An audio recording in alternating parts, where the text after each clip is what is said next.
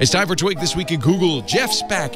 Stacey's back. We're going to have a lot of fun talking about the sex compass, self driving vehicles without a safety driver, and Google's little project for growing AI minds. It's all coming up next on Twig. Netcasts you love. From people you trust. This is Twig. Bandwidth for This Week in Google is provided by CacheFly, C A C H E F L Y dot com. This is Twig, This Week in Google, episode 453, recorded April 18th, 2018. Naked Egg Taco.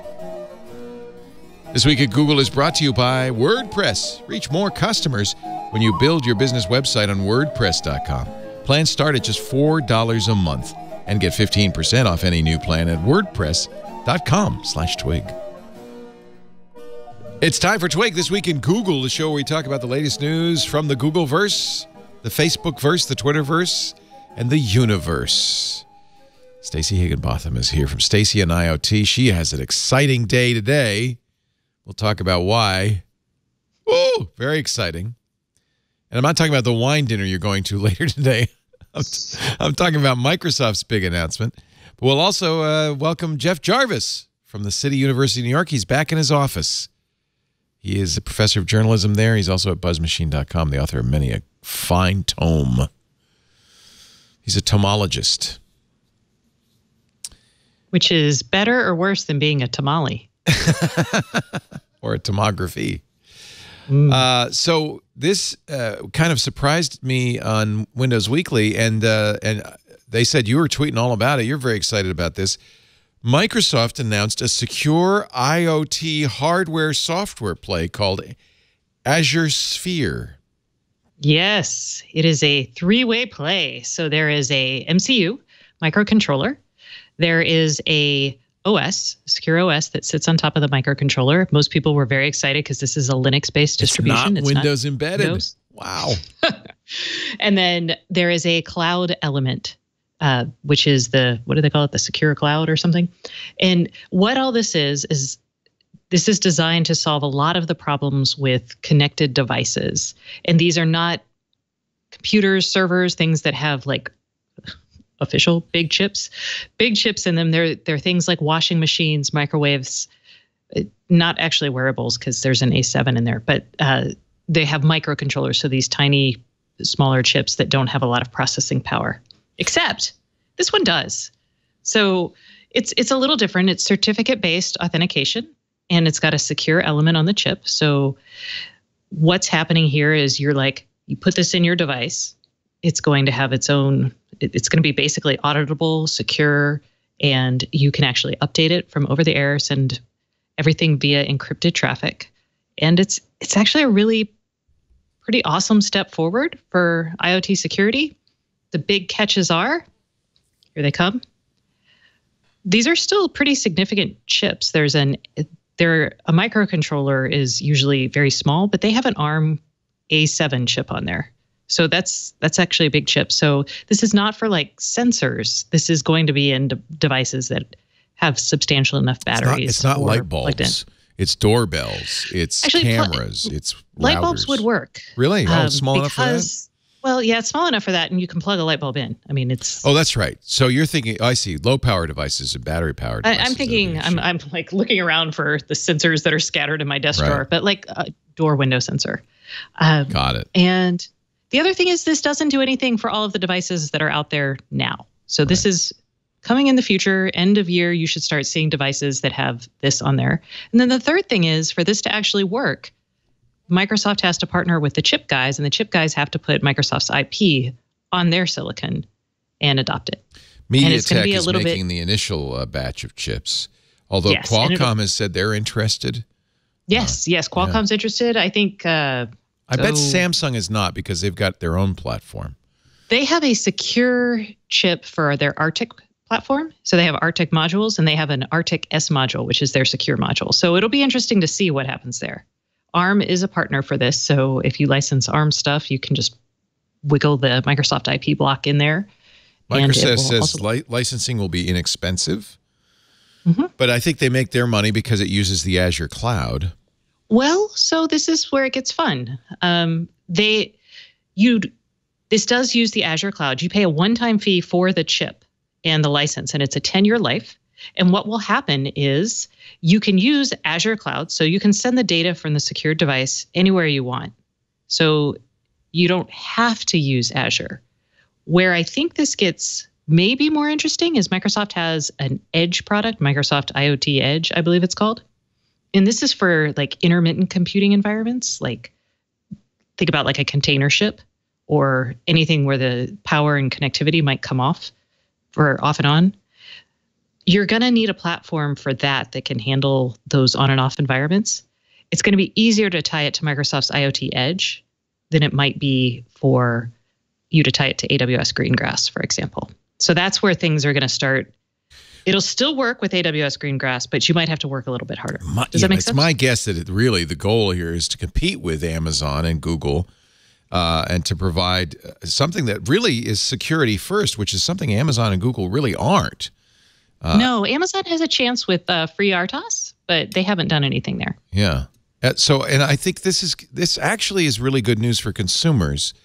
Uh, it's it's Microsoft saying we're gonna this is an important thing for us IoT, and we're gonna make a secure platform, and that means you'd be able to look and I'm sure they'll have some badge or some sort of certification, and that'll be on the box, and you'll have this sense that yeah, not only is this a secure system, is Microsoft going to provide patches to the uh, operating system as needed? Oh, yes, that's part of the security. So, yes, over the 10 year life of the chip, and that's really actually a hugely important thing for IoT is having such a long lived support element. Although, as a consumer, I'm like, yay, 10 years, that sounds reasonable. But then I'm like, I have had washing machines that Yeah, last for that 13 long. years. it isn't that long, Mhm. really. But it's So- better than anything out there right now. And and I even you know where this really becomes valuable is these Chinese companies that are making these really insecure cameras and and other IoT devices, routers. They can for a reasonable fee put this Microsoft thing in there. Saves them a lot of development time, and consumers in the states will look at it and say, "Okay, I could trust this," even though I never heard of Xiaomi or whoever. right. This $20 device that Yeah. compares to all the $100 devices. Well, it's got Azure spheres in it. Yeah, I no, think that's this true. What's it going to cost to license that? Uh, that is not disclosed, but I did talk to someone in the community, and they were like, "It's a bit pricey, but you Oh, know, that'll really? change over time." So it's not going to be a twenty dollar camera anymore. It'll be a Well, twenty five dollars. No, I don't think well, pricey for this segment is a few dollars. well, Really? it's a few cents. I mean, Yeah. so when you're looking at your chip pricing, it's a few Yeah. cents. But if it's like an extra buck, then that adds like That's a- ten to twenty bucks on your Right. end. Yeah. Um, anyway, I don't know if that was way like super nerdy for y'all. So I think uh, I think that uh, Microsoft was saying it was not expensive, but of course that's all in the eye of the, of okay, the yeah, expensive is in the eye of the beholder. Uh, and that- but what it, I think this is really good news, and it, it- for a few reasons. Uh, it, it makes it easier for companies to make secure IT, IoT devices without doing all that back end R and D.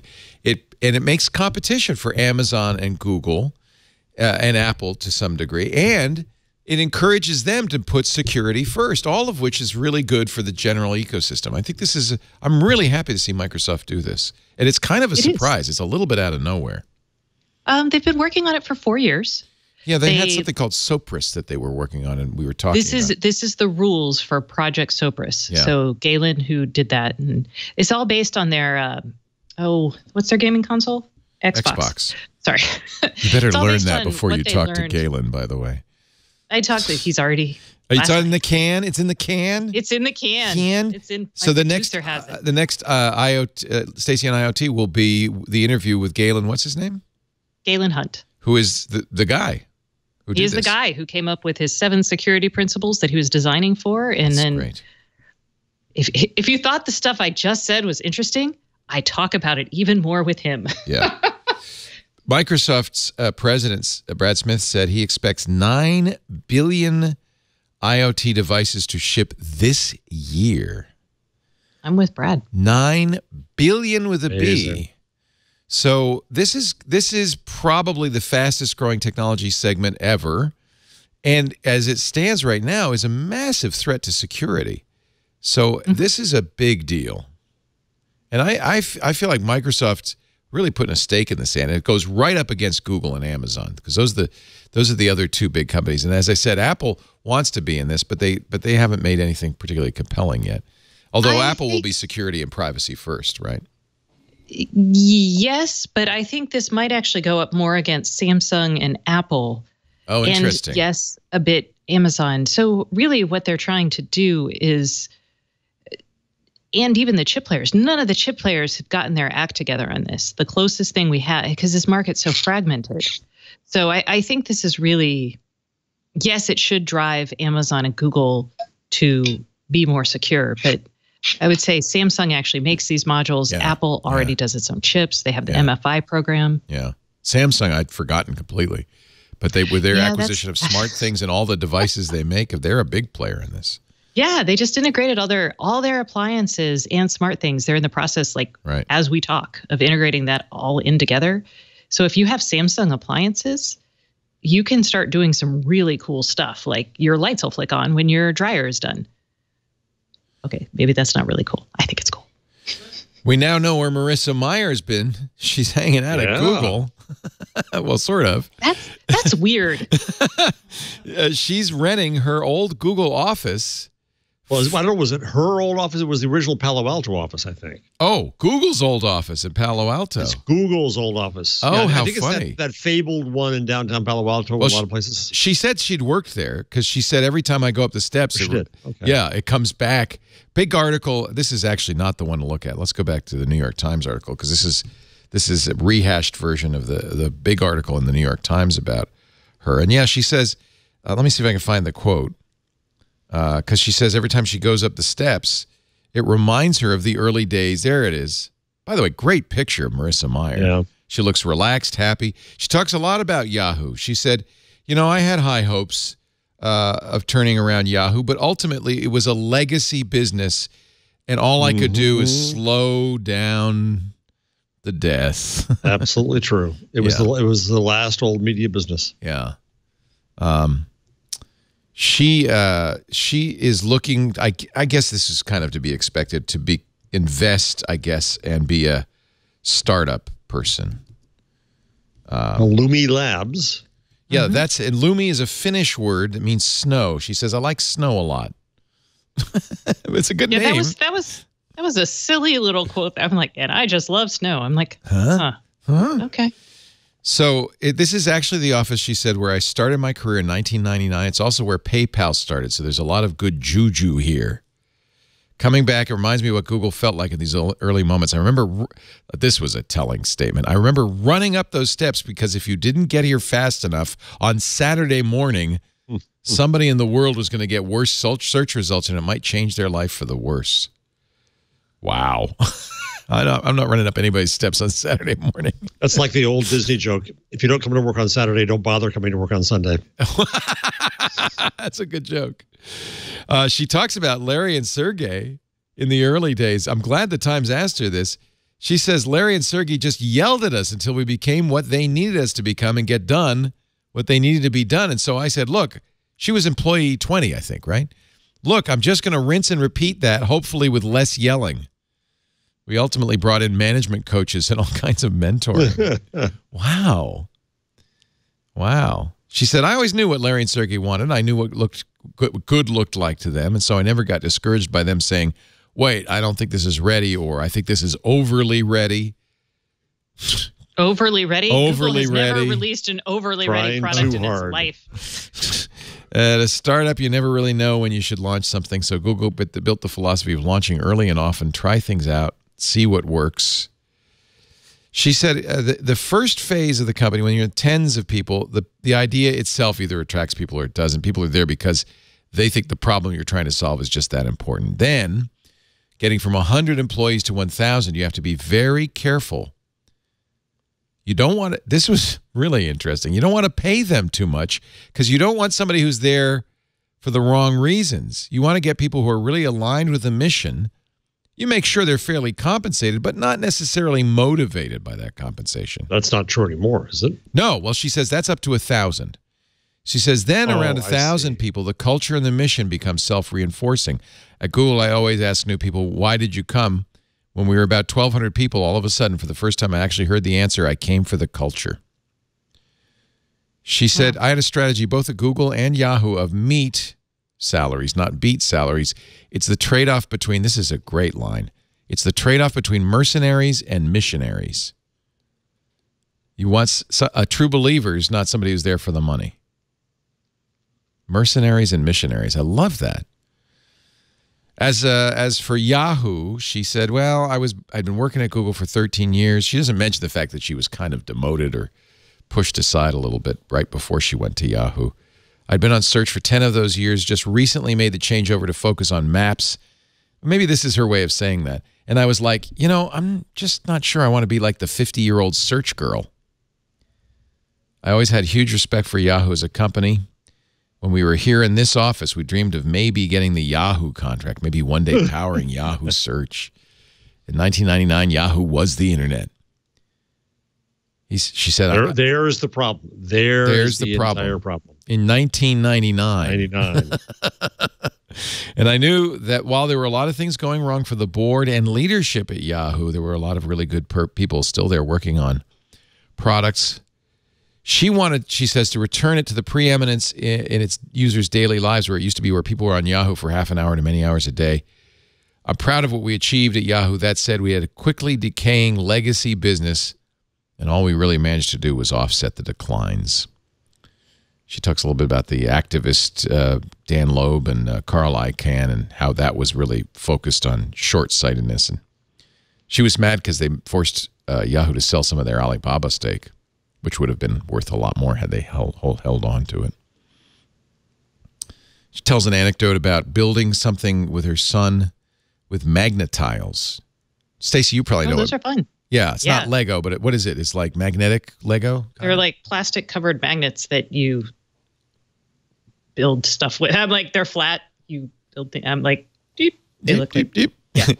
she said, We built this giant kind of castle complex and it collapsed, and my son was crestfallen. I stopped and said, Son, this is a teaching moment. There's nothing to be upset about. We built it, and it worked once, and we'll just rebuild it. Kid, fail fast. Fail Yeah. often. Yeah. You're going to regret Yeah. those words. She said that was one of just my. don't become a civil engineer. Yeah, right. Because you don't want bridges to fail even once. Uh, she said, I would say one of my key learnings for Yahoo is that timing is everything. We can make the products really good, but regaining the contextual relevance that was afforded to Yahoo in 1999 and the early 2000s was difficult. Difficult, absolutely. She said an interesting thing about Me Too. She said, uh, as important as these conversations are, I hope we're able to have them in a concentrated way, fix the problems, and then move on because what I don't want to do is dissuade the next set of leaders, entrepreneurs, and executives from even entering the field. I don't want us 15 years from now to turn around and be like, wait, how come there's so few women VPs at these companies?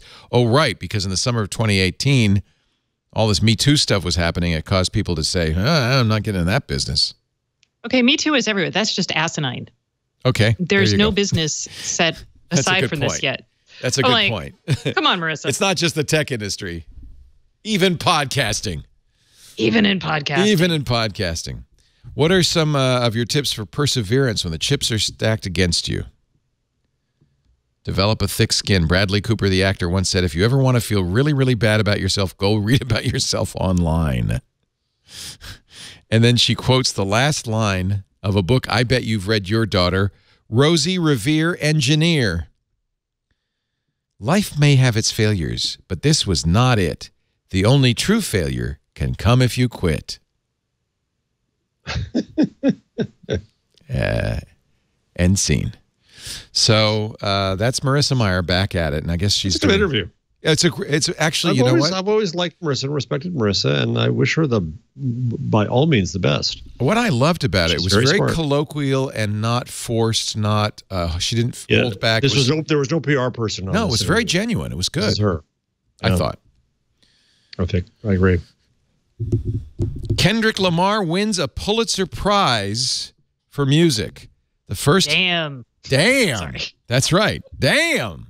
That's his. Uh, that's. I don't know if that was the album that won, but uh, It is. It is. He uh, he's the first hip hop artist to win a Pulitzer. You know, traditionally the Pulitzers go to jazz and classical music. You know, Slate did a wonderful, it wasn't wonderful is too much. Slate did an interesting article. They interviewed the two other nominees in classical music for the Pulitzer about Kendrick winning. So it was kind of a fun article. That's interesting. What did they say? They ba- basically were like, dude, he's awesome. And we really like his work. And one of them was kind of influenced by some of his stuff. And they were really excited for him. Which Kendrick is I- not your typical rapper. He talks about uh, a lot of stuff, deep stuff, real stuff. Um, you know, it's it's it's it's hip hop, but it's but I think that he is absolutely a poet and uh, and pushes the envelope. So and of course he got a Grammy, right? Album of the. Did, oh no, he didn't get a Grammy. He didn't get the Grammy. That was Oh, whoops. oh, but he got a Pulitzer. It's like somebody, the New Yorker says it's kind of like Bob Dylan getting the Nobel Prize. yeah. That's actually what I thought of. I was like, Times oh, are changing. Yeah. Isn't that interesting? He didn't get the Grammy, but he got the Pulitzer. Yeah. Wow. That tells you something about the Grammys. And then the Cannes and Cannes Film Festival saying, well, Netflix can't be in the Cannes Film Festival because their movies aren't on a screen in a theater. Well, they're trying to force them to put them in French theaters, and they, they refuse. Yeah. They say Okay, yeah, They I didn't even cinema read any is of a these stories. theatrical experience. You didn't read that? I, I just, I, I couldn't. You couldn't I, care less the outrage. I could not care at all Yeah. about this. There's a little too much outrage in this world. Uh, I'm sorry, but uh, you are you are not uh, in the theater, and yet I have to say some of the stuff, I like the Meyerowitz stories, uh, uh, pretty amazing stuff. Uh, really good work being done by Netflix and Amazon and others. And just because they're not shown in a in a theater doesn't mean they're not cinema. Well, that you know what that is going to change. Yeah. Uh, I don't know how much that hurts uh, Netflix to not be at Cannes. Well, isn't there Orson Welles' daughter something something? This, these are the headlines that I've skipped. So from the headlines, Ripped from the headlines. has something that they want shown. His daughter is pushing for this, but it was a Netflix deal. Netflix Yeah. acquired it, and she wants it shown at Cannes, and the French are like, no. it hurts the creators. It doesn't hurt Netflix. No, it doesn't hurt. It doesn't hurt. What? Yeah. What does Netflix get out of Cannes? Nothing. Uh, If you want a distribution, you know, going to Yeah, a but festival is it. important, but they they are No, distribution. If you were, but if you're trying to pitch your services to like a famous actor or director, they really want Mm, they want to be a con. cachet. Yeah. Uh, What first, do they you win want a golden something? The well, gold- yeah, first Palme they want cash, d'Or. but then they want the You get cachet. the Palme d'Or, the golden palm, Palme d'Or. Okay. the palm d'Or. Have you ever done uh, Cannes, Leo? No, have you? You probably have. You're a critic. No, you could have no, gone. Never have. Stand Hey, there you with a wouldn't have to wear paparazzi. heels. Oh, I go to. VidCon instead. VidCon is the then. You know what? Netflix. Same time. Go to VidCon instead. Yeah. VidCon. It's much more, much more with it. Much more. You really, it's fascinating to see the world change, and and to see some people dragging their heels as it does. Mm-hmm. I'm sympathetic. So, have you used Google's new book search? I was trying to. I was trying Yes, to test it out. I I couldn't, I used couldn't it- go over the right question. I used it, so it was fun because um, we were talking about this on Twit, but we were also talking about uh, individualism versus collectivism and how the United States, where we really have um, this sense of individualism, you know, is is has you know, I just learned that there are 176 million cameras in China. Uh, you, did you see the 60 Minutes on Sunday about uh, how they they found a, a currency manipulator in China uh, in, at a concert of Yes. 60,000 people with face recognition? Yeah, he thought he'd be safe, but no. Uh, I mean, they're they're really moving fast in face recognition. So we talked a little how- bit. how- yeah. How did how did Google Book Search get to this topic? I'm. I can't wait. So I asked, this is, you go to books.google.com slash talk to books. And this is Ray Kurzweil. He talked about it at TED this year. Uh, and he, this is Ray Kurzweil. And he said, instead of doing a search, you're, you're going to speak to it in sentences and you're going to get an so I, I I can't remember what I wrote. Something like how does individualism or let's and I can't remember what I wrote. Collectivism affect our views of privacy, say. That would be an interesting subject, right? How do individualism, collectivism affect our views of privacy? And look, I got some really interesting and related. Another way of thinking about fast, individualism versus yeah, did you see that? Well, that's probably because it was cached. Another way of thinking about individualism versus collectivism is to consider the degree of privacy a person seeks. This is from oddly enough occupational therapy with elders. But then there's Stephen Breyer, former Supreme Court Justice Stephen Breyer's active liberty. Others find connections between personal privacy and individualism, and the privacy may encourage nonconformity and more free expression. Or privacy impact assessment. Well, that rolls off the tongue. Um, so this, so that you know, I thought that was actually pretty good. And if you were a I- student and you were thinking about these issues, you would get some interesting references anyway. I tried it for a question that I'm constantly trying to figure out and think about. We talk about it a lot, actually. And I asked it Does the US legal system focus on intent or outcome? Oh, that's good. Less less about finding more for finding things to read because I'm I'm trying to focus on what happens with the US legal system. So it pulled up the first two were not useful, but it, they started actually getting more useful over time, including a book, Liability for Crimes Involving Artificial Intelligence Systems, which I'm Ah, like, there you go. hot diggity. Bring it. Oh man, this is good for research. So I just put in. Um, tell me about moral panic and technology. There you go. Oh, Bingo. Jeff, are you quoted? Did you get anything good in there? yeah, I did. Uh, So yeah, I, I actually I was like, oh, this is kind of fun. Also scary. Well, This is what journalists do. one of the things I've really been thinking about lately is, you know, artificial intelligence is like blockchain. It's the thin spread of peanut butter that you put on top of anything you want to sell to the marketplace to make it sexy. And Well- I really wonder, you know, we we bandy this AI around an awful lot these days. And I really wonder how close to I mean, are we is it really AI? I mean, is it really is it It or is it just so- so Eliza? there there's there's words you can use like artificial intelligence can mean lots of things, but if you do things like machine learning, that actually means a very specific thing. Yes, So which is really what we're talking. Maybe we should ask people to be a little bit more Say specific. machine learning. Machine, and, but people machine learning machine is a, learning. is a method, not a not an outcome. right. And AI and the outcome impl- it implies the outcome of artificial intelligence. I don't know if it delivers that outcome. and it's also like how do we what kind of intelligence do we value and how do we like computers are already artificially intelligent when it comes to solving things like chess problems or anagrams you know so but, but chess, see, playing chess well or even go well is really little more than math.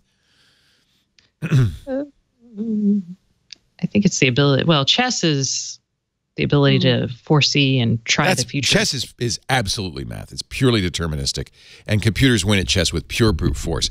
The thing that was interesting about Go is you can't win with brute force because there's too many combinations. So And- you have to have some intuition about what a position means. But I'm I'm not convinced that that's still not essentially. Uh, they're but they're teaching themselves matching. that's that's Yeah. what's interesting is the intelligence comes from teaching themselves and there's this idea that you can train i mean being able to train a computer to recognize this on their own and work towards an outcome that you're asking it to work towards that's actually pretty cool i mean again that's valuing one type of intelligence over another we I'm could have just not impressed with the progress we've made. Maybe that's really what I'm saying. oh leo. And and we you know and this comes up with self-driving cars now right? Um, because uh, that's a form of uh, what would you is that can i say that's ai self-driving cars? Yeah. I mean you can say lots of things are ai okay but if you had level four autonomy that would be ai what people think of as ai if you give the car a goal and it gets there, I guess so. I can't level four. Which what what is level the, four is level complete self-driving what Oh, I thought that was level five. Well, four-ish, five-ish. It's in there. Uh, Five is if you self-driving don't kill anybody. Yeah, four. Ah, okay. You kill I a, like, words mean you things, kill guys. people after every five thousand miles. You know, just one of those. it's Uh, the price of progress. well, what happened is we made a lot of. Remember the early days of the DARPA challenge, which was the autonomous vehicle challenge. In the very early days, which was only what ten years ago, the cars barely got a few feet. They would just they would just go drive right off the road.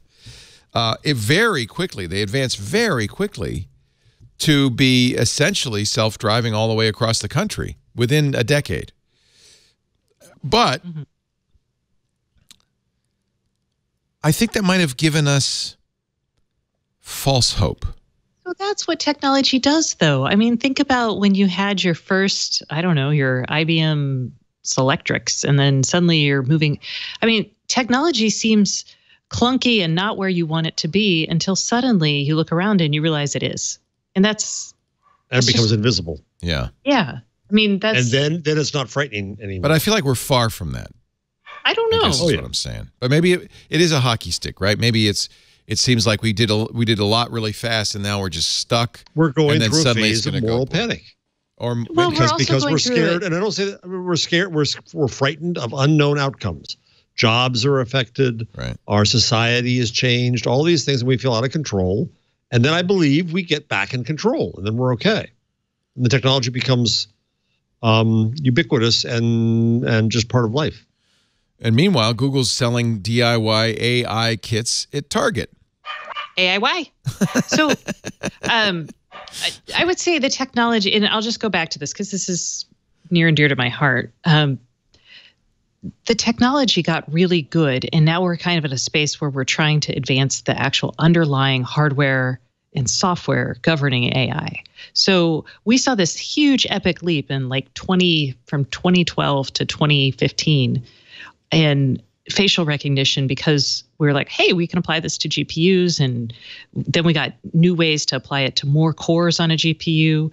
So right now where we are is we're now we've we've done all that work there. Now we're trying to build new types of learning self-learning models for computers. And that's gonna they're figuring that out. And then once they've got that, they're gonna have to figure out hardware optimized for it because this still does take a lot of computing power.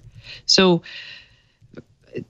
I don't think it's really a moral panic thing so much as it's like a we hit a technology wall and we're going there. I I don't know how I missed this AIY thing. This is pretty cool from Google. It is pretty cool. They've Uh, had much- this for a while. Yeah. I, I everyone which I was didn't so excited know. about this and I can't figure out why. Um, so the idea, well, but they started selling it in Target, which I think is right. tele- And they is- added a Pi. It's kind of, yeah. So it's got there's two of them. One's for sound and one's for uh, vision. The sound one has a Raspberry Pi Zero. The vision one has a Raspberry Pi Two. You could literally build your own intelligent speaker and experiment with voice recognition. So how much expertise do you have to have in what area to do this? well, see, that's an interesting question. They they I think they're pushing it as a step part of a STEM program, right? I think anyone can actually do this. You you have to have it. It You're not walks you. coding. You're not writing any code. you are actually working through some code, but Oh. it's they they show it to you, so you can. I I don't know if you can cut and paste or if you just. It, but it's not hard. It, Yeah, but it gives you a are- start. and the the voice one's been around for a while. The the other one is newer, I believe, the computer vision one. Oh, I see. So this also this just ties. So I see one of the examples here that you showed was was uh, picturing an apple and it's giving the probability. So that's going. So this is a this is a way to get into all of Google's It's pretty pretty tremendous, pretty tremendous um, Yeah. uh, APIs. And and So yet, I want to I want to see how to teach my journalism students to tie into these things. This, I think, either for fifth graders or journalism students, you probably could do this. but not us. We are too Yeah, stupid. Yeah. yeah. Um, I think you should get one and make it on the I show. will. You know what? Let's order it. Let's, uh, or I'll go to My favorite Target. sport. I'll Get run Target. Leo to buy things. Yeah, no, I will buy this, but I bet it isn't too hard, cheap. uh, and it really is up to the prof- the teacher or the professor uh, to add the content that would make it more about AI and more about what's involved and stuff like that. But at least you got all the hardware and you can interact with it and write code and that's Do it yourself cool. project for STEM education ideal for teens. You're right, Stacey. That's what it says Yeah. on the when you, on the buy page. Yeah.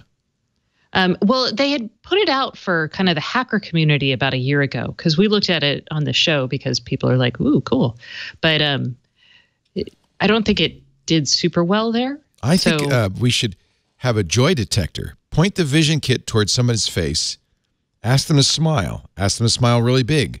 Ask them to make a frowning face. And then, of course, they've already pre-programmed it with the machine learning, but it will Steal their photo and send it to the send Russians it to us. while you're at it. What could be the harm? Please.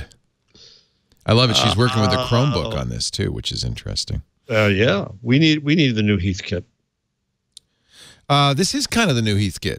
Yeah, that's what I'm saying. Yeah. Cool. I love it. It's in cardboard. It's got that Google, uh, you know, ethos. What Did is you- a cardboard? Heathkit steal. They make I- stuff. Yeah, I did Heathkits. Sure. Heathkits. What is a Heathkit? Oh my God. Happened again. Oh my God. I have to drink now. Well, no. Now you can tell the rest of your audience who who are maybe not No, as they're old as old as as we are. Yeah. Oh, Well, okay. Heathkit, Heathkit's They're still geeky. around, They're geeky. but it was it was a great do-it-yourself build build a radio, build a Geiger Had all counter. the parts and the instructions. yeah, Sometimes Ah. you'd have to do soldering. solder. Yeah. This is all hardware stuff. You know, build a ham radio. That's the that's the ultimate Heathkit thing. Okay. Yeah. In fact, uh, I built a radio with my dad. yeah, there you go. Maybe it was a Heathkit. It's probably a just didn't know. Heathkit. Yeah. Uh, in fact, uh, our uh, uh, guys at the uh, uh, Ham Nation show, the Hams, have their own. It's very much a Heathkit. Build your own AM ham transmitter. It's called the Pine Board Computer. Um, if you go to Bob Heil's site, heilsound.com, you can read about it. Click the ham radio section. Let me scroll down a little bit here. I just put in an image from an old Heathkit catalog. So this is as Heathkit as it gets. In fact, it even has to have a warning: "Don't touch this; it could kill you." Yeah. um, and it has they they sell the parts. See, danger, high voltage. That makes it exciting for kids. And they have the circuit diagrams, and you make and you build it. You build everything. And uh, Oh, li- look at the look at this link I sent you. It's just too beautiful. It's an old catalog. these were the these were the days, weren't they? This is memory. American Oh. radio history.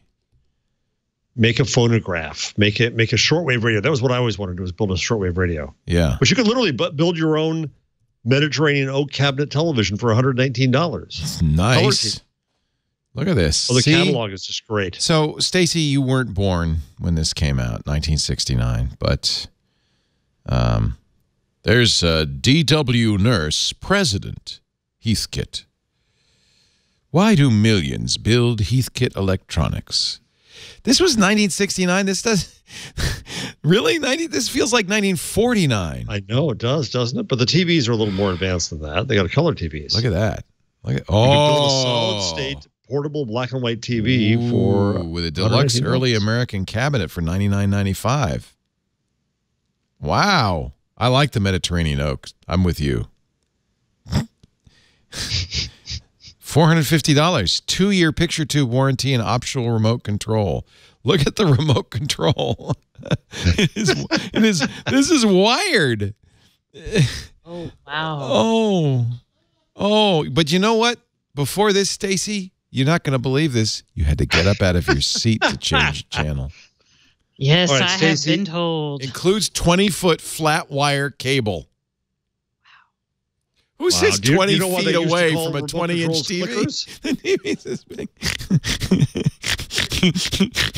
oh, sorry. oh, wait, wait, Leo, go to page 27. It's Stacey. It's the early Stacey. Oh, is Stacey in this? Yeah, she is. This is the best catalog ever. I don't know how you found this. Greatest Google, goddamn. Oh, man. there it is. IoT, Stacey. Guard your family IoT. and property. Three easy to build solid state units that just plug into AC outlets. Reliable, fail safe, versatile, always on guard for worry free security. Here's a smoke heat detector transmitter. Actuates receiver alarm if smoke or 130 degrees Fahrenheit is present. The next page is handy, see, handy household helpers. Oh, this was IoT. Look at this. I want this. What is this? It's a solid state indoor outdoor intercom. intercom system. Wireless is in Ah, Miss. Higginbotham, take a letter. Take a memo. Take a memo, Miss Higginbotham. What was I watching? The other day I was watching something. Wait, why was wireless in quotation marks? They were like That's what I wondered too. same time with I don't know. wireless. Wireless. Oh, it's plugged in. I guess maybe that's it. I don't know. The wireless intercom. Oh my god, my parents had that lamp. Really? That one? That wooden Yeah, one? That that wooden thing. Yeah. Oh, they had man. one of- oh. Press the push to talk button to talk, release to listen. The PTT bar has a spring return to the listen position and a handy dictate hold position for keeping tabs on the baby or for predominantly one way conversations.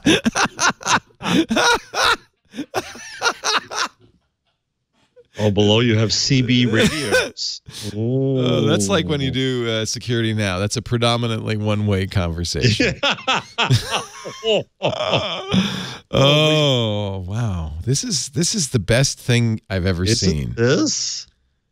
Tools and accessories for ki- It building. goes on forever too. Yeah, these were the. But this was only 1969. That's what kind of blows me away. In uh, 1976, a few years later, my college roommate was building a kit computer in his dorm room. Wow. But Wow. he'd he'd grown up building Heath kits. So yeah, it, it was. This was right before the digital era began. Kind of the end of the line. And you could even build your own laboratory instrumentation. I still had until two weeks ago. I still had a store near me where you could go in and buy, you know, resistors and capacitors and and and special kinds of plugs and cables. It was all this electronic stuff. I don't know how they stayed in business. Well, they didn't stay in business. They just they just closed. Yeah. All these years. Who We was going in buying resistors? Hal- Halted just closed in uh, in uh, San Jose, which was the place for that stuff. And Really? really, yeah. And the, do you, did you ever go to Weird Things?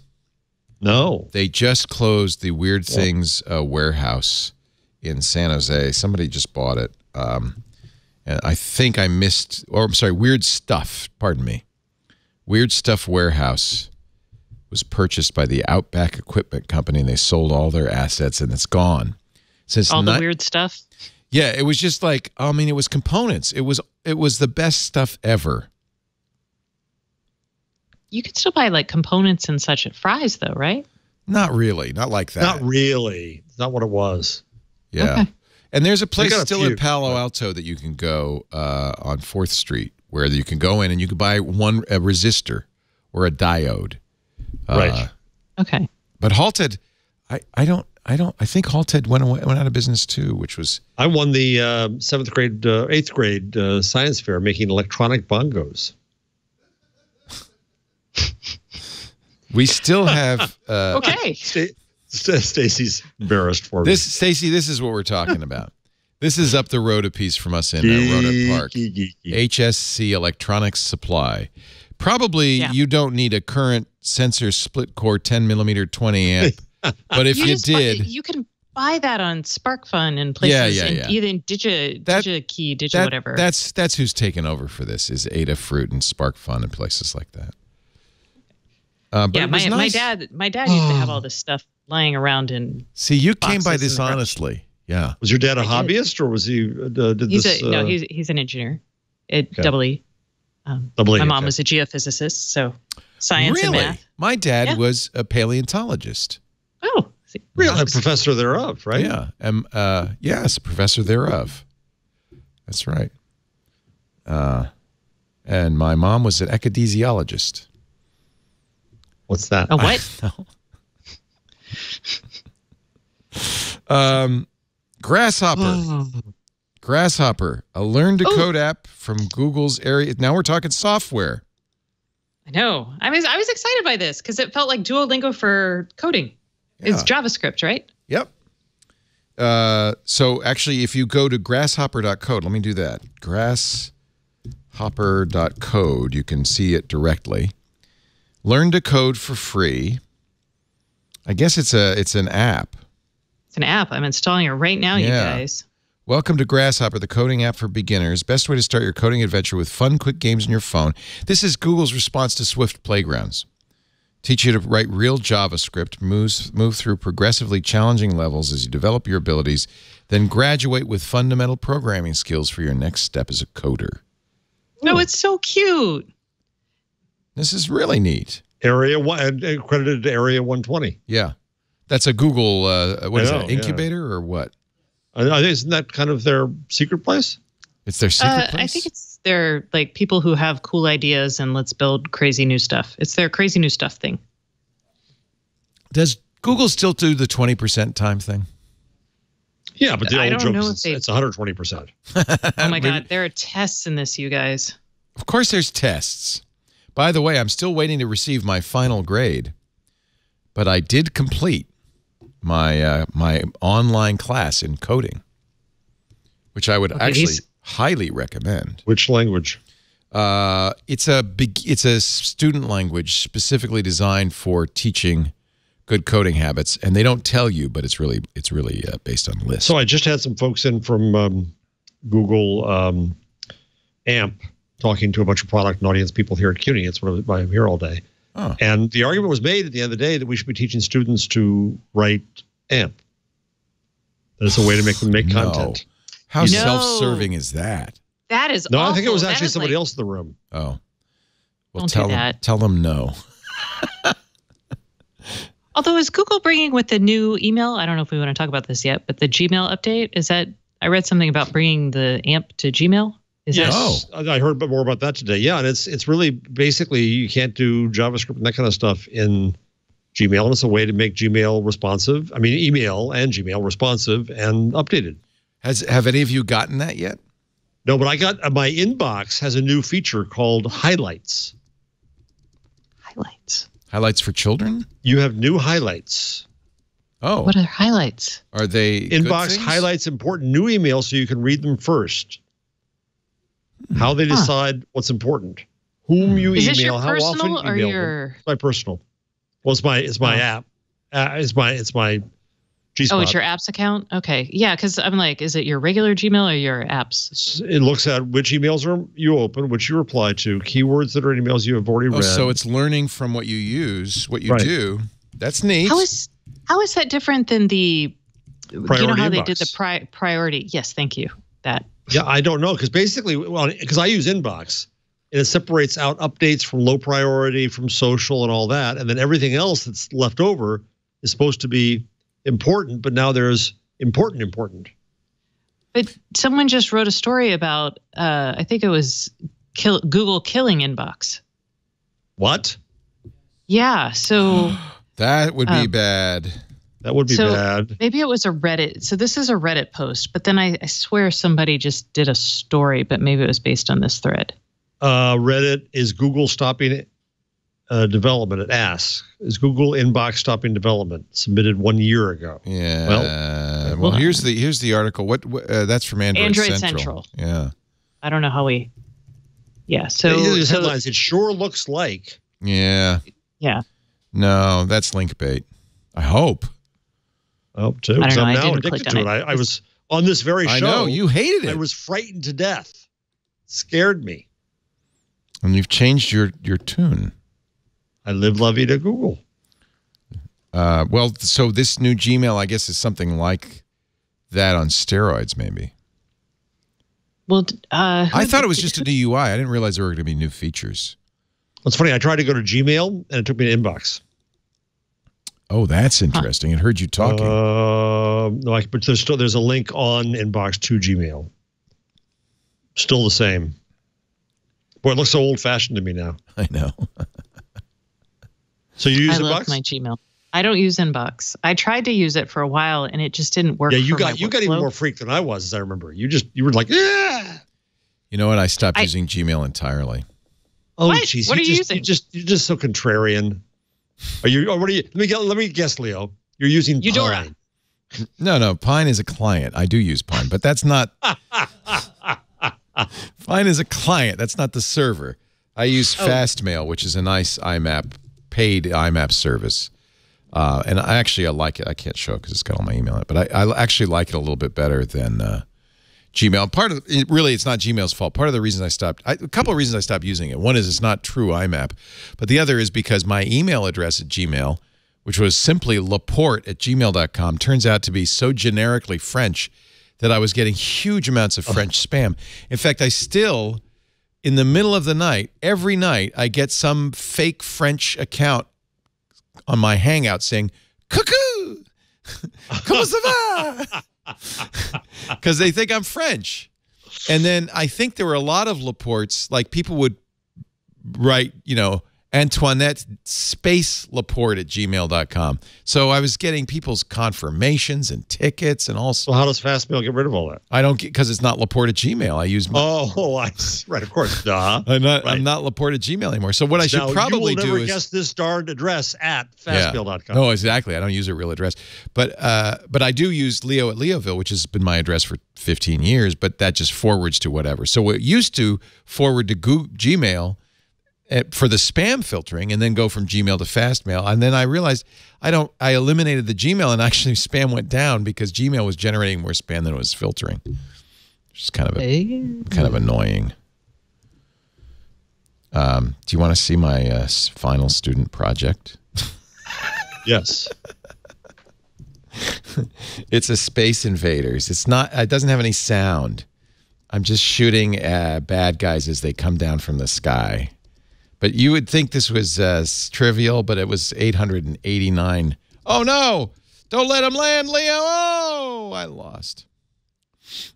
So that's it. I hope I get an A. it's actually really fun. I'm really enjoying. I like coding, but I'm gonna download this Grasshopper. I I pro I've programmed for years. This is kind of me. Uh, it's kind of it's like when a native Chinese speaker takes Chinese. It's just not really fair. By the way, that happened to me in college, and it was really annoying. I, I believe you, Leo. Yeah, they come in there. They're, just, they're r- rattling off Chinese, and I'm going, ni how? It is a difficult That's, language. that's how I feel when I go to Germany and, and see a see a three year old. Uh, but you speak German pretty well, don't you? No, I don't. No. You just give the impression. You could say like so and so schlecht fast. Leistungsschutzrecht. Why? Why? Why does Google Google Maps now give directions based on fast food locations? Okay, that's awesome. I think it's I think it's any I think it's a lot of different kind of locations, but that's the Grubhub local angle to this. so this woman tweets, so Google Maps instructed me to turn right after Burger King. Hashtag mind blown. Then Scott tweets, Google Maps told me to make a right right after White Castle. This really happened in the Bronx. Elizabeth writes, Google Maps told us to turn left at Taco Bell. We were so No, confused. no, the, you drive into Taco Bell. By the way, have you had the naked egg breakfast taco? what? No. No. Taco Bell does not provide good breakfast tacos. Jeff. No, it's show. really good. Because you know what it is? No, they don't even provide that in Austin The because they know we would. egg is the taco shell. Oh, how do you hold you got to look this up. You got to look this up. This is What? What? Oh, Taco Bell. it is the greatest. Now you can get it dressed, which is to say that it has like a It's not naked anymore. around it. But how But do you it's- eat that? Doesn't that get all over your It comes hands? in a little holder. It comes in a, no, it comes in a little holder. Wait, but There, I gotta look. I'm looking. Yeah, says Karsten. yeah. Oh. You know, by the way, uh, stop, Karsten, because this bugs the hell out of me. Every time I go to a site now, Chrome says, has that allow block. Do you want Taco Bell to send you notifications? Can we oh, there's a way to stop that. I Yes. don't want that. How do I stop that? stop notifications on. I Because I don't want Taco Bell sending me gosh darn notifications. Ooh, you can get Um, nacho cheese sauce on. Look at this. The naked Look at this. taco. Build your own. Customize it now. Would you like bacon, cheese, nacho cheese sauce? Extra nacho cheese sauce? Pico de gallo? Oh, that's a popular upgrade. Guacamole? Yum. Creamy jalapeno sauce? And then you can get, uh, there's an add on. You could put egg in the egg. like some egg on my I egg. like egg on my a egg. side of eggs. I like a little steak. And uh, God knows why, reduced fat sour cream. Why Why start reducing fat now? Right. It's I, you know what? So I you was can in get the extra nacho cheese sauce. I had a meeting. I was late. I had to drive on the on El Camino. I had to have breakfast, and I thought, well, you know, they have this. Let me go in and just try it so I can talk about it in the show. and it's actually good. Is it really an egg or is it an egg product? That's my question. No, question. it's, it's a look at that. It's got a yolk on it. It's an egg. That's a suspiciously that could just be dyed. symmetric yolk.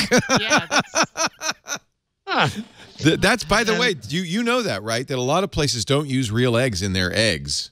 mhm. You know, they have an egg product they pour out of a little carton. Egg Yeah. beaters. Well, but it's no, I don't know. But I mean, fast food eggs are often not from a f- actual egg. but I'm telling you, this is actually pretty good.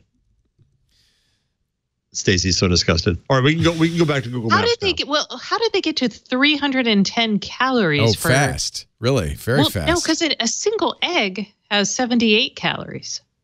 Yeah, well, look at let's those home fries the and ingredients cheese. are bacon, Oh, this Salt, I thought this was the naked. I thought it was cheddar only the egg. cheese, the egg's only Okay, naked on the outside. On the inside, the egg is nacho the egg cheese is full sauce. Of, full of Okay, yeah. Then never mind. I got you.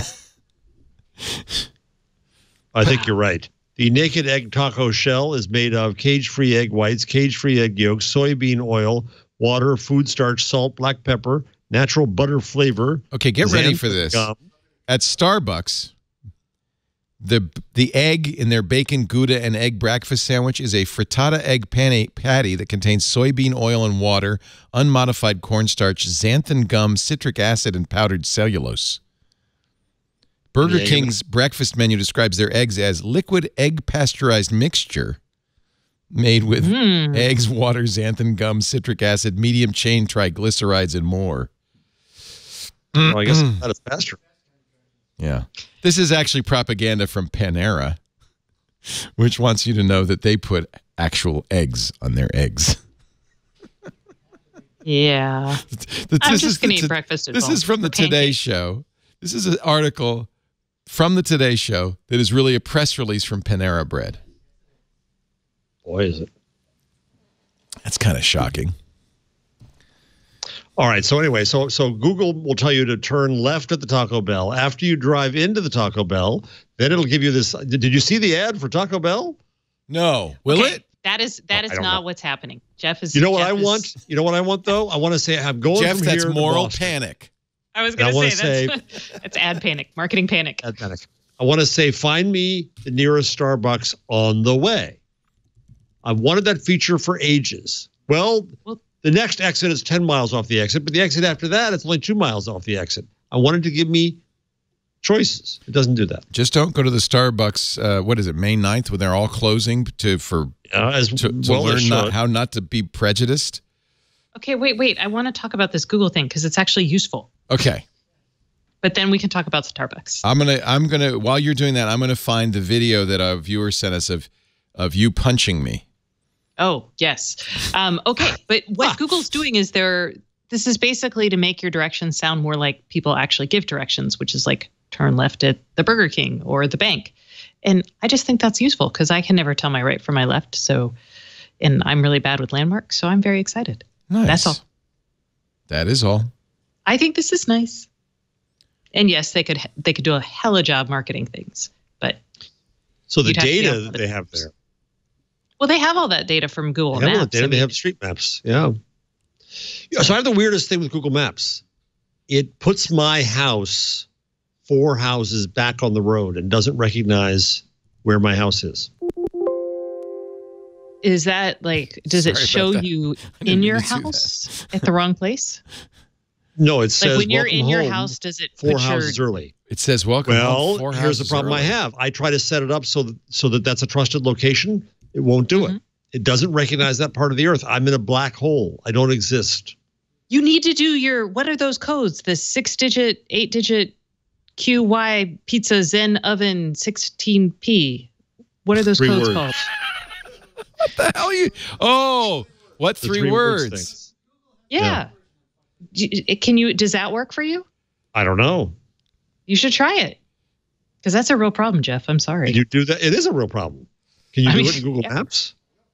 Uh yes, you can, but what is it? Someone help me out here. I'm just gonna start gi- You can't do. You can't. You have to do it from what three words, and then it sends you to Google Maps with a GPS coordinate. But no, Google created one. Oh, Google has their own. Yeah, yeah, yeah. But it's Right. like really obscure. It's like weird. It's like Yeah, we played with it on the show. yeah. It's, hmm. Okay. That's I was trying to help you out, Jeff, but You can correct Google Maps, can't you? You can. I think there's No. a way. I don't know how in that case to say you say I don't exist, but here's where I exist. Yeah. because my Google Maps has next Plus door to me. dot They s- codes. That's Google stuff. Plus dot codes. plus Plus dot codes. Okay. My Google Maps, my next door neighbor, my old next door neighbor ran a business called Party Boats Austin. And it's It wasn't that duck thing where it goes in land and then goes no, on the it- water. it's not. I love duck tours. Don't don't knock my duck Okay, tours. I've all got right. a quacker. And I'll use it. I know. I remember you Uh, used it on me. They um I can't come I can't say that those guys have moved and they have not changed their address. So every time I come home, it's like Google is asking me to tell me my experience at Party How Boats was Austin. party boats? I know Oh, which we have a. drives me batty. Me too. We have a, a, a business near us, and it's always asking and saying, "Are are you at? Are you? We're near the outlet malls." It says, "Are you near the outlet mall? Are you at the outlet malls? Tell me about You it." You drive by a McDonald's and it says, "This is a good opportunity to take a photo." No, it's Uh. not. They all look the same.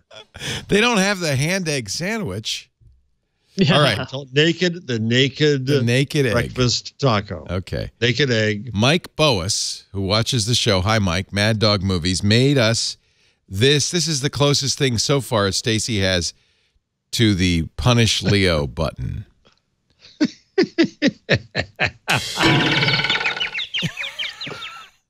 I bet that was satisfying, wasn't it? Thank you, Mad Oh, Dog now you, Movies. you got to switch our. Well, that means you got to switch our monitors. uh,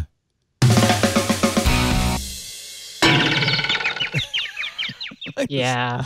is that satisfying? To be fair, the, the punch I was envisioning wouldn't have knocked you out of your chair, but since it's an animated you, I'm just like, yeah, yeah, I don't man, mind. Take it. Uh, he even got he got the chair right, everything right. Yeah, good, good work, Mike. Everything Very behind good me work. right. It's really good. Very nice. Nicely job. Nicely done. So at least you know what this is. This is a, uh spec for the actual Punch Leo button. The actual punch Leo. Consider it a uh, yeah. What do they What do they See- call that when they make an animatic of it? It's the Oh. animatic for the Punch Leo button. Yeah. Nice. I, I was envisioning something hitting you in the arm, not your actual. Oh actual. no, I was figuring the skull. But yeah, Oh, okay. Jeff's I was much just more like doing a vicious. gentle, like, hey, I was doing that for you, Stacey. Much, much, much more vicious. Bit vicious. Thank you, uh, thank you, Mike. Mad Dog. Yeah, Mike, good work. Really Good good, work. work. Really nice. nicely done. Yes. Google is drafting ethical guidelines for working with government. Is that an oxymoron? well, it depends on the Google government. and ethics or government and ethics? you, you take your pick. Google. moral Uh, panic. Moral panic. Diane Greene, who's cloud boss, according to CNBC, I don't know, cloud boss, Diana Greene is said to have expressed regret that those principles were not in place before Google signed its contract. This is that contract that the employee petition was complaining about with the DoD, uh, and said that these new ethical principles will be in place before it commits to any similar work. Nice. Um, now I don't see what the principles are, so. Well, she's writing them. Oh, she's writing them. They're in progress. Yeah. So when when the principles emerge from Diane's pen, we will talk about them. Whatever they may be. What would you you know, do no evil is not quite enough these days, I'm afraid. Well, I would say what what so let's talk about this. So so the, the company shouldn't use this technology to kill people. Well, they said and that their policy was only to help with defensive, not offensive weapons, and I think How that, are they that's good. defensive drones? Uh, they could shoot down missiles. Yeah. Star Wars. All right, that's fair. That's fair. I, I'm just, I'm, I'm trying the to problem think. Is that you create that and there is an offensive potential for it. yes, everything has both offensive and defensive potentials, Plus, wasn't including wasn't the, information. the the the case they were complaining about wasn't that uh, photo uh, recognition, which would seem to be be targeting. Right. Well, you could argue that you could deploy something at the borders to keep people you know are bad out. Mm. That would be somewhat defensive. Um, now, anybody who But actually believes that It is might just be ridiculously unethical. dumb. Right. Unless it's a giant red boxing glove on a spring. Mm, yeah. No, not, so not so funny, Leo. Not funny.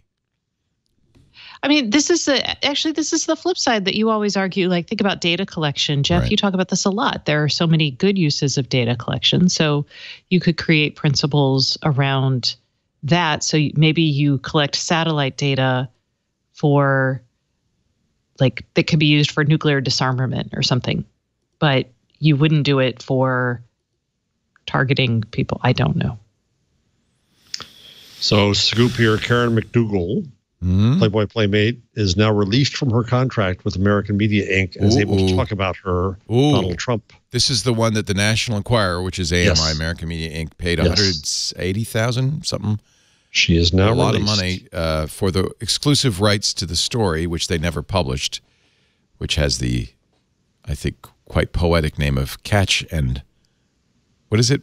Buy and catch, catch and hold, pay and catch, catch and release, Something like that. Something like that. Catch and release is something, That's but fishing. But this is not fishing. Well, it's uh, also an immigration thing, isn't it?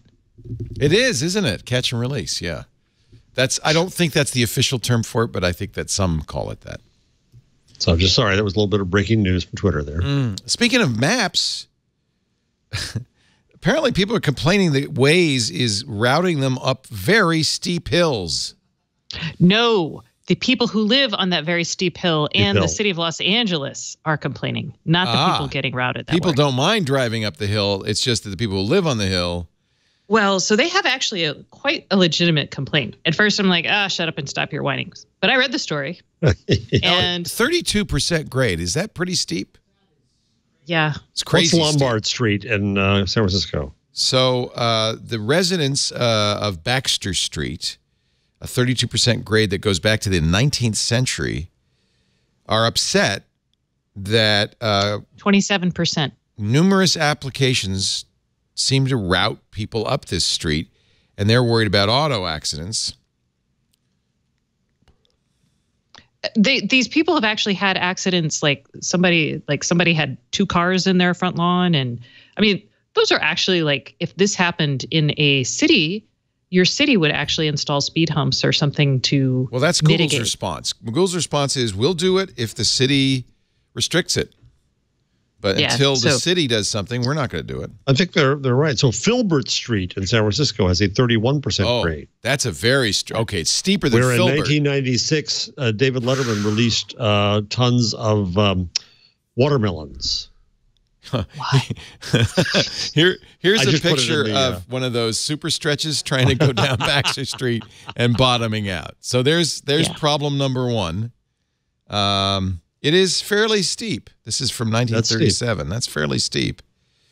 In fact, it was in the Little Rascals. Here's something else Stacey won't remember. Nope. Uh, 1930s uh, Little Rascals. Uh, We're not old enough to remember either, Stacey. they had a derby uh, race down uh, that street. In the 50s, automobile manufacturers sent new models up the slopes of Baxter Streets to show how powerful their new engines were. Uh, more recently, Baxter set the stage for legendary skateboarder Don Noogie Nguyen Yen- Wen's incredible run, which went viral last year. You want to watch his his bomb hill drop? Uh, if you have vertigo, uh, you might not want to watch this. This is from Thrasher magazine. I do. You know me, Bridges. Noogie's Hill First off, Bomb. you should never ever challenge Nuge at any. Nuge, sorry. Sorry, He'll do it. So that's Baxter Street. It doesn't look that steep. I could do No. that. But in fact, that was the only way when I was a kid I could skateboard. Is if I, we had a hill that steep, and I would. That's the only way I get enough speed up to stand up. I've had no desire even want. That's or Nuge. Thought of even trying to bomb that hill, but He's gonna bomb it, man. called me out in front of Burnett. Okay, was like, boy, hey, they really build up the you gotta keep in front of tension. Tomorrow Oh, look, Oh, here's some oh, pictures of a school bus bottomed out. When we first pulled up, we pulled up at the top, and I was on like, Baxter Street Hill. He says, crazy. Oh, "Oh, he's bombing it. Oh, he's bombing it. Oh, he's crazy. Oh, Nuge, you're crazy." I wanted to try it out, you know, just to check Oh, the cracks. and please. stuff. Talk about manufactured danger. You're the little rascal. I rascals. sent you. So that's nothing compared to San Francisco. Broderick. between Broderick. Broadway and Vallejo. Yes, I know Broderick very well. 38%. Here's Nuge uh, when he was younger, going down the street. This is the little rascal, Stacey. You see what you've been missing? Yes. Now this is filmmaking at its finest, It sure is. Great special effects. and the acting. Oh, oh, oh! There's buckwheat. Ain't got no brakes. Wow. Okay, that was fun. Anyway, uh, Baxter Street. People don't drive up it. If you get if Waze tells you to go up there, s- Don't turn do it. around. Don't do it. I drove a. I'm such an idiot. I had a stick shift car in San Francisco. Oh, Oh, man. yeah, that is. Don't you, do that. You know That's what's dumb. you know what's great up the hills of San Francisco? A Tesla. Really, bet. it's easy peasy because Yeah. Stacey, you know this. If you press the brake a little hard, it puts it on the emergency brake. It just locks, and then you can take Mm-hmm. your feet off the pedals and sit there. And then because there's so much torque in it, when you're going, and you can be like this, and you just put the accelerator down, and you just go up. Yes, that's how I slammed through a fence thanks to my pedal error. So oh, much oh torque. no. really? When did this happen? Recently? Oh no, this happened like a year and a half ago. This is why I all this is why I say all the Teslas, you see them all like going through windows and stuff. And it's because when you mess up, You in really a mess Tesla, up. You really mess, you mess up. up Yeah. big time. You got a, you got a lot of torque. It's hard and fast. Yeah, you're go you're going fast when you when you mess up. So is Tesla in trouble or not? Uh, no, God, in they're such idiots. Oh, there's good news. They just announced that they're going to go to 24 hour production for the Model 3 and they're going to be able to do, what is it, 6,000 a week? Oh, I was talking about the NTS in National. Oh, Tran- this whole thing over the self driving car. Yeah. yeah, I'm like, God, Tesla. They're kind of man. in a, a, you don't get in a shooting war with government agencies. You're not going win. especially especially after you've had multiple accidents. It doesn't where people look- have The optics aren't good. And I and I really I agree. They should not call it uh, an autopilot. It really uh, and it shouldn't No, be it should treated as an autopilot. It should be No. treated as kind of fancy cruise control with lane change capabilities or something like that.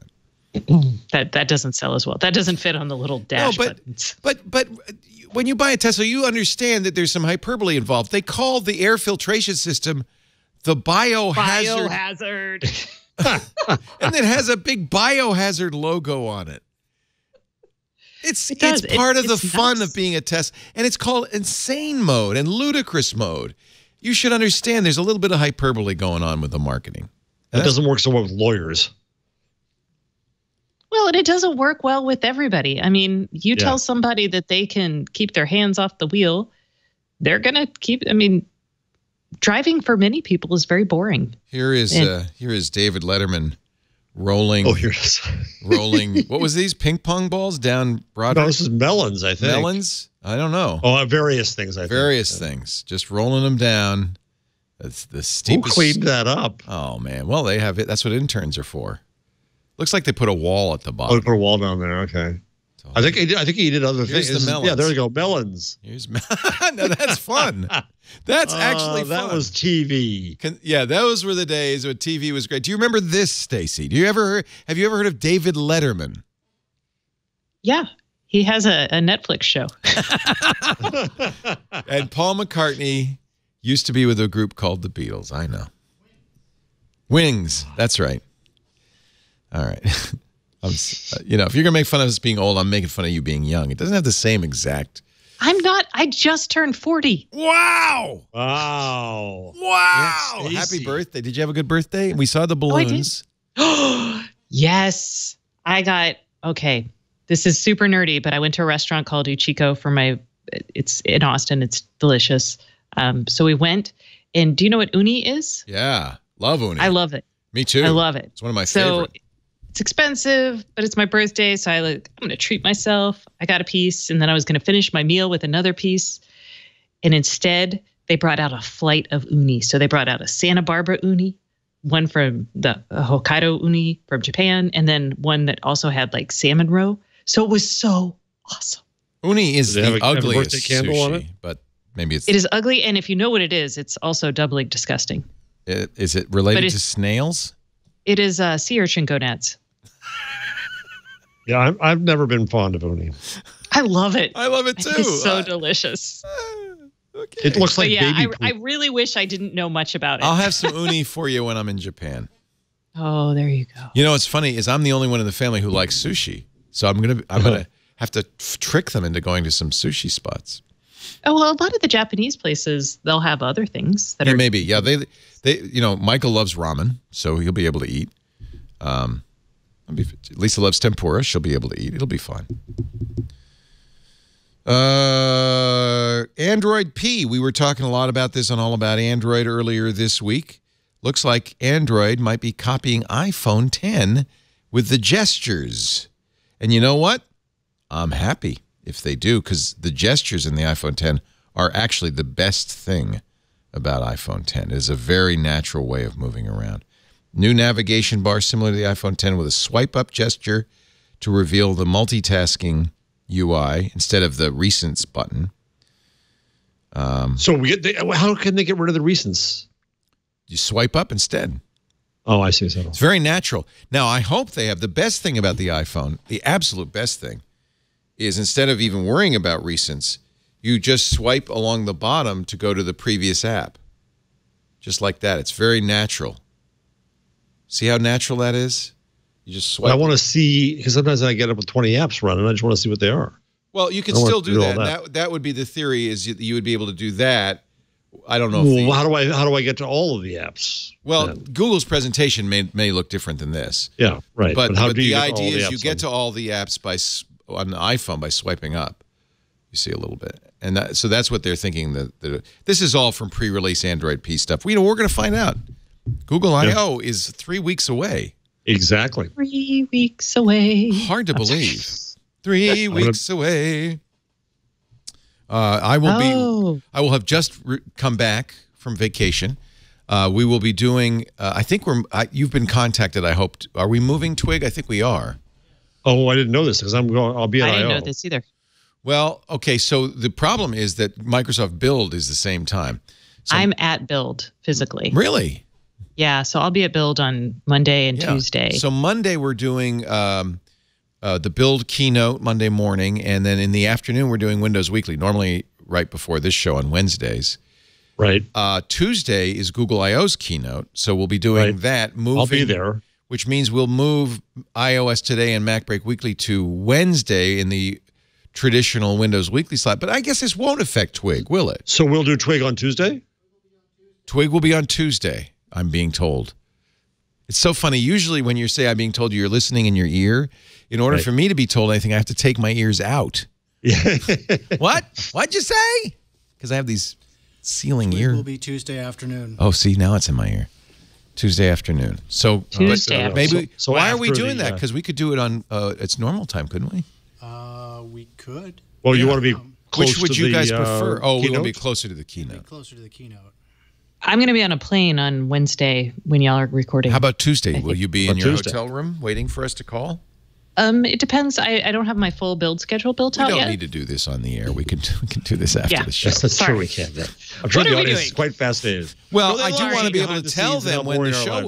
I do want to be able to tell them when the show will be, but we will. We'll let you know that. Who's filling in for me next week and the week after, Mr. Karsten Bondy, producer? We will have uh, Jason Howell hosting. Okay, from All About Android, Jason will be hosting the show in the next couple of weeks, and then Trying to get Jason to do dangerous things. Hopefully next week we'll have uh, Joan Donovan in the place. We've yes, been I will not be. we've been trying to get Joan because she is an expert on how memes are used to shape political opinion. She works Indeed at Dana. Boyd's uh, uh, think Data and society. Data and Society, her think tank. And really, we love her. She's great. Yeah, I'm sorry you won't be here because I know you. What are you? I was Johnny. I'm sorry. Oh, really you look like you were upset. Yeah. No, I don't was mind just- yawning. I yawn all the time. You can yawn. You don't have to cover your mouth.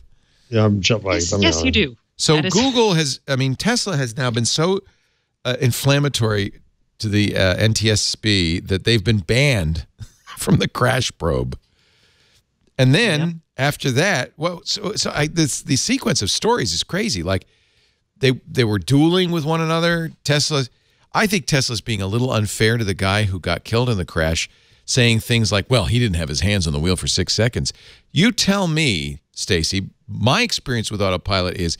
It doesn't have any magic sensors in the wheel that knows when your hand's on there. You actually have to jerk the wheel a little bit. So I can have my hands on the wheel the whole time, and it says, "Put your hands on the wheel." So I actually have to go, uh, just to let it know. Is is that your experience, or does it know your hands are on the wheel if you're just lightly resting there? Uh, my Tesla is so old it does not have autopilot. Oh, you don't know. So I think I- this is a little unfair, and certainly Tesla knows this. Um, the guy could easily have had his hands on the wheel. Now the question is why he didn't notice that the Tesla was veering into the guardrail as it had done before, and he Well, observed some, before. like I've driven other people's cars with autopilot, and at some point you're like, well, I'm going to decide to trust this because it's worked in the Big past. mistake. so I could see how you could be like, oh, oh, oh. Oh. Yeah, I, I think it's really unseemly of Tesla to put out public press releases saying, well, he didn't have his hands on the wheel. He wasn't paying attention. That is not nice. Like, imagine if that were your dad. Yeah. I, You and know? I think this is why NTSB says, look, you know what? Uh, rele- it said the quote from the NTSB releases of incomplete information often lead to speculation and incorrect assumptions about the probable cause of a class of a crash. And that is why we're revoking Tesla's status as a party in the probe. They too many public releases, and I think that's completely appropriate. Tesla's going to is now going to file a complaint with Congress contending that it's in its own statement the NTSB is quote more concerned with press headlines than actually promoting safety. And I actually think going after the NTSB is kind of a jerk, is kind of an odd move because out of all of our public agencies, they're actually pretty. They're not hated by anybody. well, you know and, they. and as as this article in, from NBC points out, Tesla has really been blaming the driver. yeah, So and come on. so yeah, I don't know. Uh, yeah. So we we will uh, watch with interest. I mean, I, I, look as somebody who uses autopilot a lot, I've had the experience of the car pulling into obstacles, putting pulling into, in particular, construction, uh, road division. If it can't see the lanes, and you grab the, you know, you're holding the wheel and you gra- pull it the other way. You say nope, and you disengage. And I have disengaged my autopilot, my Tesla, numerous times. What does your times. family think of you using autopilot? Lisa refuses to use it, and she doesn't like it when I use it. But now, but I will say, I believe it's safer because uh, I I think that momentary inattention is less likely to cause a crash, and that that can be a problem as you as you're a driver, especially on long distances. I love on highways. I turn it on, I pay attention, keep my hands on the wheel, but it's just one more way I'm avoiding running into the guy ahead of me because because it won't do that uh, staying in the lane, even you know if my attention wanders or whatever, uh, it's just help. You shouldn't rely on it, but it's ve- but it's a very helpful tool, and I think it makes me a safer driver. I feel more safe behind the wheel, but that's because I also pay attention. You can't you can't you can't let you, you can't say oh the car's driving I'm I'm going to read a book. You can't do that. I ca- I don't think I could pay attention if I weren't actively driving. I You think can. that would be. You- you- fear is a remarkable I don't use motivator. uh, cruise control. I hate cruise Oh control. well, you wouldn't like Yeah. this. This is just. I'm not a huge cruise this control is cruise fan control either. on steroids. I use it even in traffic. I love it. But I'll tell you why it's great. Is stop and go traffic cruise control on the Tesla and many new model vehicles uh, will stop and go. Mm-hmm. So it maintains a safe stopping distance. It maintains speed. It does. I. I mean, I've never had a problem with it not seeing the car in front of me. So uh, that's a really great way of kind of you don't have to keep your foot on the accelerator going back and forth, brake, accelerator, brake, accelerator. You could take your feet off the pedals, still paying attention, and it will automatically keep a safe, safe stopping distance and and speed up and slow down appropriately in, in stop and go traffic. That's I think huge.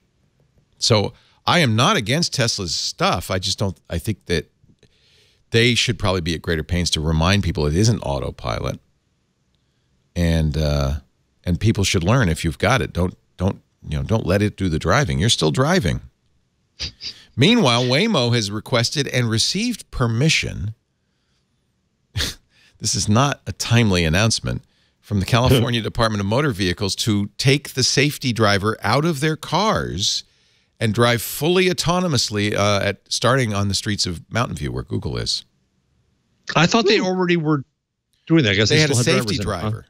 Driver. They still have a now, safety driver. now those Chrysler minivans will be powering around town with nobody. Are they still driving those little funny look, looking little No, no, things? these are minivans. These are Chryslers. Oh. But if you're a pedestrian in Mountain View, just word of warning, you might really want to look both ways carefully. Yep. Because Before jaywalking? Well, here's my here's my concern. They talked. Waymo was you know said immediately. Oh, you see Uber, they have a disengage. What was it? Every 13 miles. We only have a disengage once every 5,600 miles. A disengage means the safety driver took over.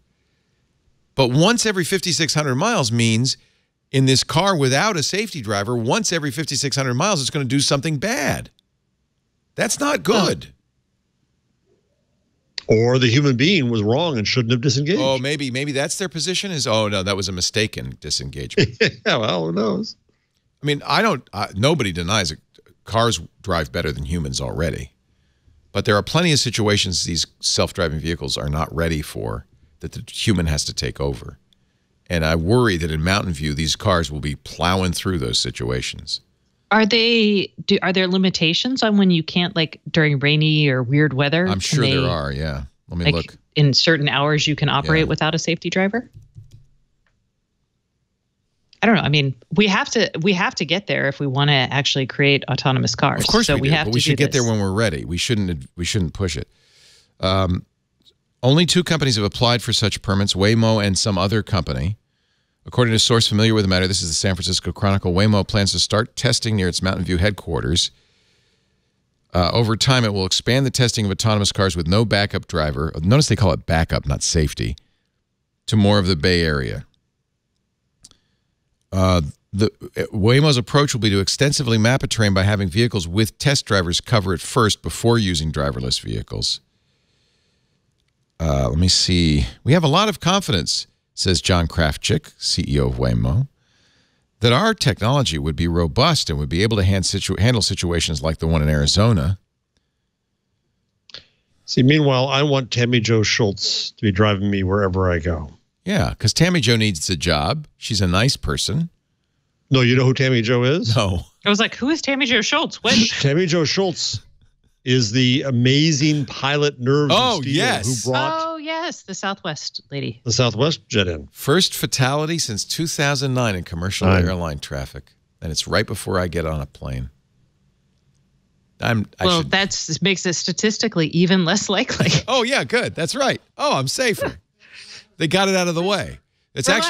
actually a, a tragic story. Uh, the Southwest uh, flight from New York to Dallas uh, had a catastrophic engine failure, and I guess shrapnel from the engine pierced the window of the plane, and a passenger was partially sucked out the window, straight out of a James Bond movie.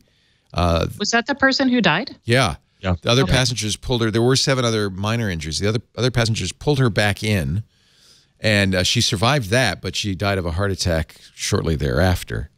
And but of course, you're you're praising the pilot, who, Who uh, everyone praised that she yeah. was she was, the Sully nervous of the Sully of, Yes. South, of the That's why South. I, I hope her nickname is Schultze because it should be Sully and Schultze. Schultze. Sully and Schultze.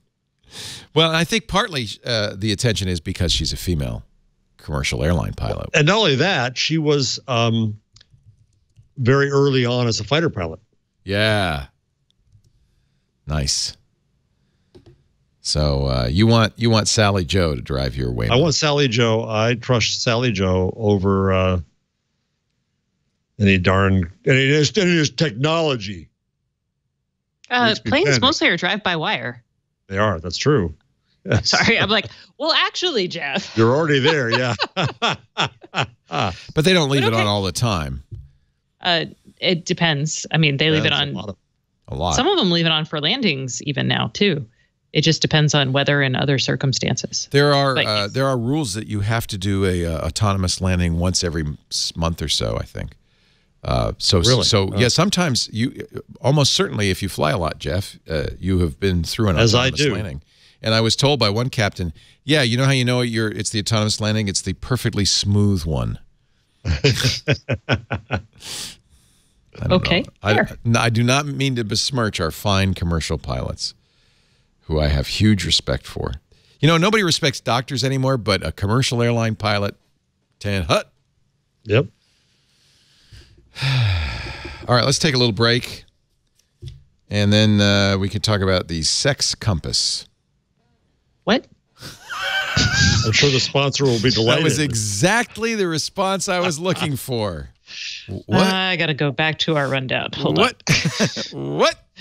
What the heck? We're talking about WordPress, not the Sex Compass, the WordPress.com, which is my blogging host Uh, I love WordPress. I see more and more people using WordPress. I it, well, literally 30% of the entire web uses WordPress. I've used WordPress practically since Matt Mullenweg had wrote it early in the 2000s. Uh, but for a long time, I was hosting it myself, which was so, I don't know why I was doing this because I spent, you know, I was always kind of tweaking it and playing with it and the server, not the content. I never put any content on there. And, and I, I was paying more, frankly, to host my own copy of WordPress than to use WordPress.com. When that light went on, and I realized I twigged, if you were, to the fact that I could save money and they'd maintain it. I'd always have the latest version. I'd have all the plugins, and I'd have the great support of the WordPress team. I I I ran to WordPress.com and created uh, moved my site there, leolaporte.com. Uh, make your site your own because WordPress.com gives you the freedom and the flexibility to share your voice, your work, your way.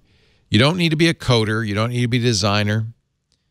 All you need to do is is have a have something to say, have a and want a place on the net. And by the way, this is your place. This isn't Facebook's. This is not Mark Zuckerberg's place. It's not Twitter's place. It's your place. Every business, every human should have their own place on the net. The place people find when they search for your name. You don't want to let somebody else determine what they find. You want to do that. Great customer support 24-7 Monday through Friday and on weekends too. WordPress has great e-commerce now. This is nice, ranging from a simple buy button to a complete online store, and plans start at $4 a month. I was crazy to be doing this. I don't know what I was thinking myself. Actually, I ended up getting the business plan because I get so many fabulous features, including great plugins. It's HTTPS. I get Jetpack. I get uh, the the AMP plugin, so it speeds loading on mobile. Really, if you look at WordPress, you'll realize 30 why 30% of all the websites in the world run on WordPress and why I run on WordPress.com and Steve Gibson does and Paul Thurrott does and everybody I know. WordPress.com. Get started today with 15% off any new plan purchase. WordPress.com slash twig is the website. WordPress.com slash twig for 15% off your brand new website. At my, I'm really pleased. My daughter, I registered when Abby was born 26 years ago and Henry was born 23 years ago, I registered abbylaporte.com and henrylaporte.com. And I got, I bought, I think I bought the 20 year reg, which was expensive. It's like 200 bucks or something, 20 year registration. Because I figured if they don't want it by the time they're 20, and they they still, you know, but just the other day, Abby said, okay, I'm ready to set up abbylaporte.com. What should I do? I said, wordpress.com. And so stay tuned. And I told, I told her, I think she, she realized this if you don't create your own website, then when people search for your name, it's whatever other people have posted about you. She said, I want to put like my my best work there, my resume, stuff like that. I said, absolutely, Abby. That's what everybody, once you're 16, take control of your online presence by having your own website. You have to, I really believe you have to do that. Do you think you, what are you laughing at? Because uh, my friend, as a graduation present, gave me my own domain, my staceyhigginbotham.com. That's a great present. And you've never used um, it? No, that's my, I, I, have it. My husband does domains. We have our names, my kids' names. oh, kids' you have them all. relations. I mean, you have them all. But don't you agree that you really need to have. Um, you do. And this is Kevin Marks has always been saying this too. If you don't own your own name and website, it's a big mistake, honestly. You know. Yeah. Unless you're like uh, like my sister-in-law just got married and she's now her last name is now Taylor. And so I'm like, yeah, we're not getting your domain. Well, buy your future wedded name as well. Oh, that's You know, in the old days, you'd practice your new name in your your notebook, writing over and over, Stacey. I can't marry you because the domain isn't available. I don't have the domain. So sorry. I know. Well, you don't have to take his name. Let's be honest. That's very true. I didn't. Oh, I'm so dark now. Can I open my light or Yeah. should I? Please do. I was going to talk about Sex Compass, but maybe this would be a good time for you to get out of here. Oh, Lord. All right. Uh, I'm ready. Cambridge Analytica, another web, another whistleblower has stepped forward and said, "You know what? That wasn't the only Cambridge Analytica quiz. We had lots of quizzes and apps, like Sex Compass was one of them. Did you ever take the Sex Compass quiz on Facebook? Well, you were feeding information to Cambridge Analytica. Data was collected, says Cambridge Analytica, with the consent and limited to tens of thousands of Facebook users. Facebook says, well, yeah, but except that because of friends of friends, 87 million accounts, all of the data was exfiltrated to Cambridge Analytica. I want to know which of my friends took the sex compass quiz. That's you can, you that's can what I want search to and know. find that out. I never got notification that anybody. Did you? You, have to go to a page. Well, I thought it was just going to pop up. I thought so too. Now I'm not on Facebook anymore, so I can't do this. But you, there's a page. What's the page you go to? Facebook, Cambridge. I have to look it up. Chat room. Do you know? Um, Have I been pwned? No. yeah. Have I been pwned? How to check with Facebook? Go to a new help page um, on the site. Oh, but see, I can't go there. How to tell if my info was shared with Cambridge Analytica? Um, you must log in first. But this is, but see, here's the interesting thing. This is just for that one quiz. This is your digital life. But now we know from the second whistleblower there were more. So uh, I don't know what this page is, Jeff. But if you search for Cambridge Analytica on Facebook, you should I find they're still there. No, they were There's a banned. Cambridge Analytica page on Facebook. Oh, Lord, Well, that's just their business page, right? no, but they were Yeah. blocked, weren't they? Yeah, but they were just banned from using the data. They don't necessarily get banned from A having big, a an ad presence for on data-driven campaigns. Let's talk. oh, that's Jeez. nervy as hell. No press It is is. bad press. No, yeah, it's probably true. Facebook has, thanks to GDPR. Remember, we were uh, there was some thought that they weren't going to give you all the features that Europe required, but then Mark said in that phone call you were listening to, Jeff, that they were, and now they have announced uh, new privacy controls worldwide based on GDPR. I know a lot of people are starting to download their Facebook information, which is great. You can, for instance, turn off facial recognition now. I think that's new. You can uh, you can manage specially protected data in your profile, such as religious and political views. You have a lot more control. Yeah, here's the setting for face recognition. Do not allow Facebook to recognize me in photos or videos. Now, I imagine it's this is where I'm I'm going to have a little disadvantage with not having an account. I can't check, but I would imagine that by default recognition is turned on. You'd have to find it and turn it off. Facebook's also rolling out additional protections for teens. Uh, young people between 13 and 15 in some EU countries need permission from a parent or guardian to enable targeted ads or to add information like interested into their profiles. So Facebook said teenagers in this age bracket will see a less personalized version of Facebook, aw, with limited sharing options until they get parental consent. That's good. Yeah. So, I mean, Yeah. I I think having a conversation with people about like how their data might be used. I mean, we have those conversations with our daughter all the time. You could say, So- really, this is a benefit of GDPR. I'm mixed There's feelings so many about. benefits. I have mixed feelings about generally about government regulation of, of internet, but this is one where you could say there really are some. We're lucky GDPR exists. Uh, we'd be luckier if our own government would implement something like this. Yeah, at least Let's see how it goes. uh, there's a new page, Let's Jeff, you could look at called "Access Your Information," on which you can further evaluate the information you've shared and manage it. If you download the blob, the 50 megabyte blob, there's really no rhyme or reason. It's just a bunch of data. Although I've seen Yeah. people already start to write Python scripts to parse it, things like that. Parse it. Yeah. Yeah. Uh, I that's the one thing I regret about getting rid of my Facebook account. I would like to see that blob. I'd like to know what it knew.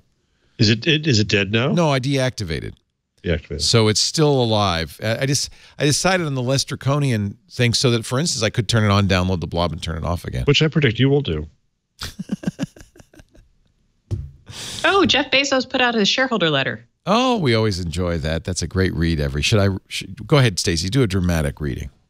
Oh no, let me. I was like, let me skim it and pick the parts that matter. Keep talking about. Does he mention Sex Compass? Because Sex Compass has not come up no, so far. no. Uh, Amazon Studios will stop taking amateur scripts uh, at the end of June, so get those scripts right in. No more amateurs, only professionals. I guess they they were doing an open call, right? Kinda. Kinda yeah, I think it was probably more of a publicity. publicity thing. Yeah. know. Yeah. It's really interesting to watch some of these big, big uh, titles be sold for huge amounts of money. We talked about the Lord of the Rings, um, the Foundation saga, Apple bought Foundation. Um, the Peripheral, which was one of William Gib- William Gibson's a great, famous science fiction author, Neuromancer, really was the the the key cyberpunk novel, and uh, uh, his stuff is great. His most one of his most recent novels is called The Peripheral. Amazon has acquired rights to that. Is working on a uh, TV series. It's actually well, I didn't realize it was that old. 2014. I've had it in my uh, Audible stack for some time, meaning to read it. yeah. But you know who they got to produce it? The producers of Westworld. Jonathan Nolan and Lisa Joy. So that's a good thing. It has a non-linear timeline.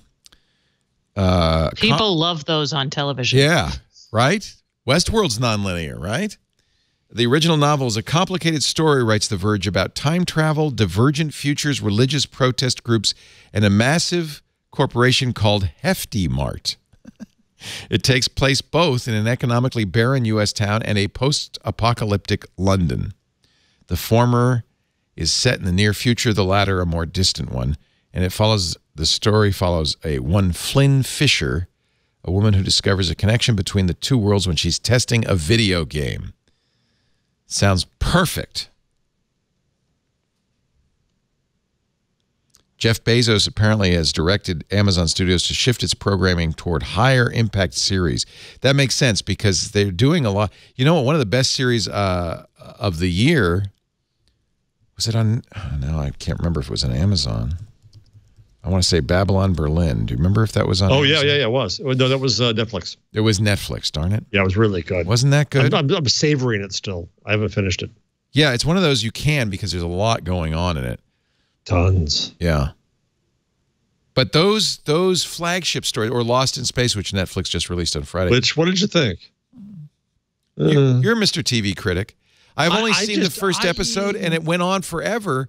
it Yeah, was it one of those. did. It was one of those things that really drives me crazy, where it's like one bad thing happens after another, to children. and then I can't take that. It's to children. it takes them. It feels like hours to get this poor girl out of the ice. She's frozen solid in the ice, and it just and then oh we could get her out of the oh no we can't get out of the ice yet. We got oh now that happened. Oh we got to get oh can't oh. I, I don't think it's a spoiler to tell you this. it's not going to spoil anything. In fact, if anything, it's a preparer. It's a preparer. Um, Yahoo and AOL. Did you see this now that they're owned by Verizon? The new privacy policy, the new oath privacy terms says they can read everything. The right to So, read. your- Leo, Yeah. did you kill your AOL account? Well, I don't have anything of value on it. No, I never had an AOL. Did you kill your Yahoo? AOL I killed a long time ago. Yahoo I still have a Flickr account, but I don't use it for email, instant messaging, posts. I do have photos on there, but I'm yeah primarily not using it anymore. Uh, I can't kill it. You know why I can't? Because our but uh, I'll have to think about moving it. Our tech guy radio show uses Flickr for a monthly photo assignment. We have a tech guy group on there with Oh, like that's fun. fourteen thousand members. But I actually talked to Chris, our photographer, about maybe we got maybe we got to move this. No, but but you want to see my if you want to see my Japan pictures, Leo.camera. I'm not using Flickr for uh, main photo sharing anymore. This is SmugMug, and because I pay them, I'm pretty sure. Although Stacey has taught me to read the privacy policy, but I'm pretty sure. In fact, I know because I know the MacAskills wouldn't use my data for anything. So I put this is where your the Japan pictures will go, but it's not a social site, so you know you don't get the commenting and stuff. Is that terrible? No. However, if you are posting on Yahoo, you might want to consider that Verizon has basically asserted the right to read everything and and uh, providing an, anonymized and or aggregated. Now, okay, maybe you can help me with the legalese here.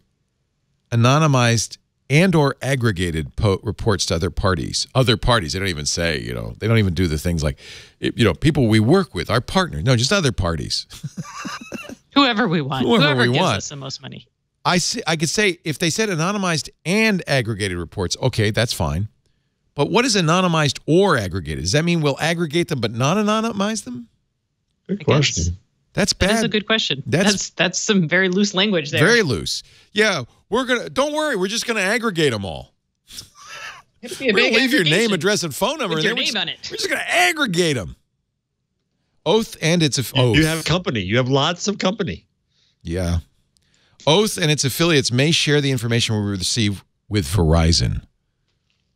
So if there if there were any incentive to get off the Yahoo platform, now you really got it. And I yeah, as soon as I logged into Flickr, I got that. So there's a new scam in town. Well, there's a new name for an old scam in town.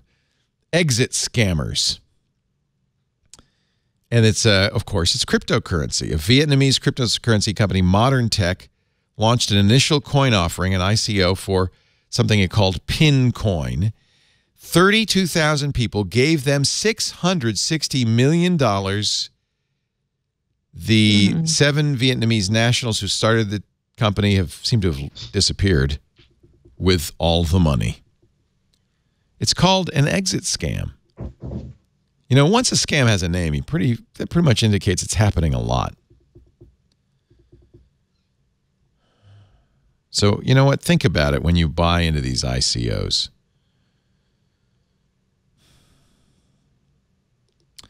Okay, anything else you guys want to talk about, or should we wrap this up? We'll wrap this up. Let me up. see. What else was here? Jordan Peele using Once we talked AI about the to naked make. egg taco, you know, what else is there to discuss in life? How about Jordan Peele? You won't believe what Obama says in this video. During an era in which our enemies can make it look like anyone is saying anything at any point in time, even if they would never say those things. So, uh, for instance, they could have me say things like, uh, I don't know, uh, Killmonger was right, or uh, Ben Carson is in the sunken place, or how about this? Simply, President Trump is a total and complete. dick." now, you see, I would never say these things. It's Obama's face, but public Jordan address, Peele's but- voice. Someone else would. Looks like he has the mumps. Someone like Jordan Peele. This is a dangerous time. Moving forward, we need to be more vigilant with what we trust from the internet. Wow. That's a time when we need to rely on trusted news sources. It may sound basic, but how we move forward in the age of information is going to be the difference between whether we survive or whether we become some kind of dystopia. Thank you. And stay woke. Poor that gives him two Wait things. what was that his last word? Sorry. Stay woke. Stay woke. Okay. That's BuzzFeed did that with uh, Jordan Peele, who apparently has a very good Obama impression. I did not know that.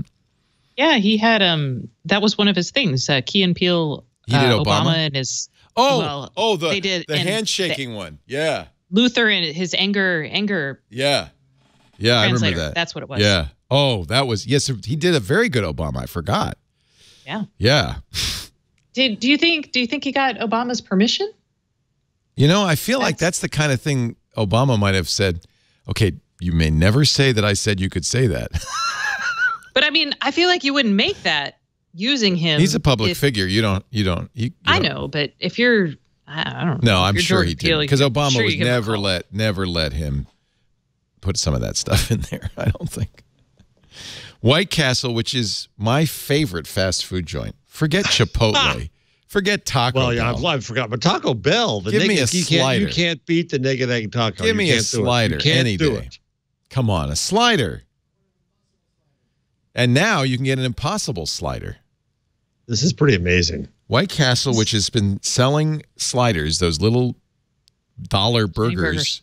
For 97 years, is going to start selling them with fake meat inside, but it's not just any fake meat. It's not tofu burgers or something. This is the Impossible Burger. We had them, and they they're they're indistinguishable. I actually didn't taste them. Carson, did you taste them? Our staff that did taste them said they were they you couldn't tell they weren't real hamburger. Well, Well, the beauty is, is, you can't tell that a White Castle is actually beef. a so- slider. You don't know what's Yeah. in there. It's mostly bun. Yeah. Impossible Foods, which uh, makes the Impossible Burger, has a 70,000 foot production facility in Oakland. And they said we can make more than a million pounds of our plant based burger in a, a month, more than enough to supply White Castle. You can get Impossible It's- Burgers at upscale restaurants in San Francisco, but this is the first fast food. We can, there's a Hopdoddy's, which is a local chain, sells them here. Impossible Burgers? Uh huh. Oh, have you tasted it? I haven't. I haven't. I haven't gotten over to Hopdoddy in a while. My daughter doesn't like burgers or doesn't like their burgers. Oh, Un-American. Uh, You're raising you're raising an un-American child. I, I certainly am. Her favorite thing and her favorite food is a kale salad with quinoa. I don't know. oh how that God happened. bless her. that Tommy. is that is that is Austin superfood. Tommy. I don't, I don't. Yeah, I'm like, wh- I'm like, you don't have to say this. No, I love that really- though. I'm with her. Kale and quinoa.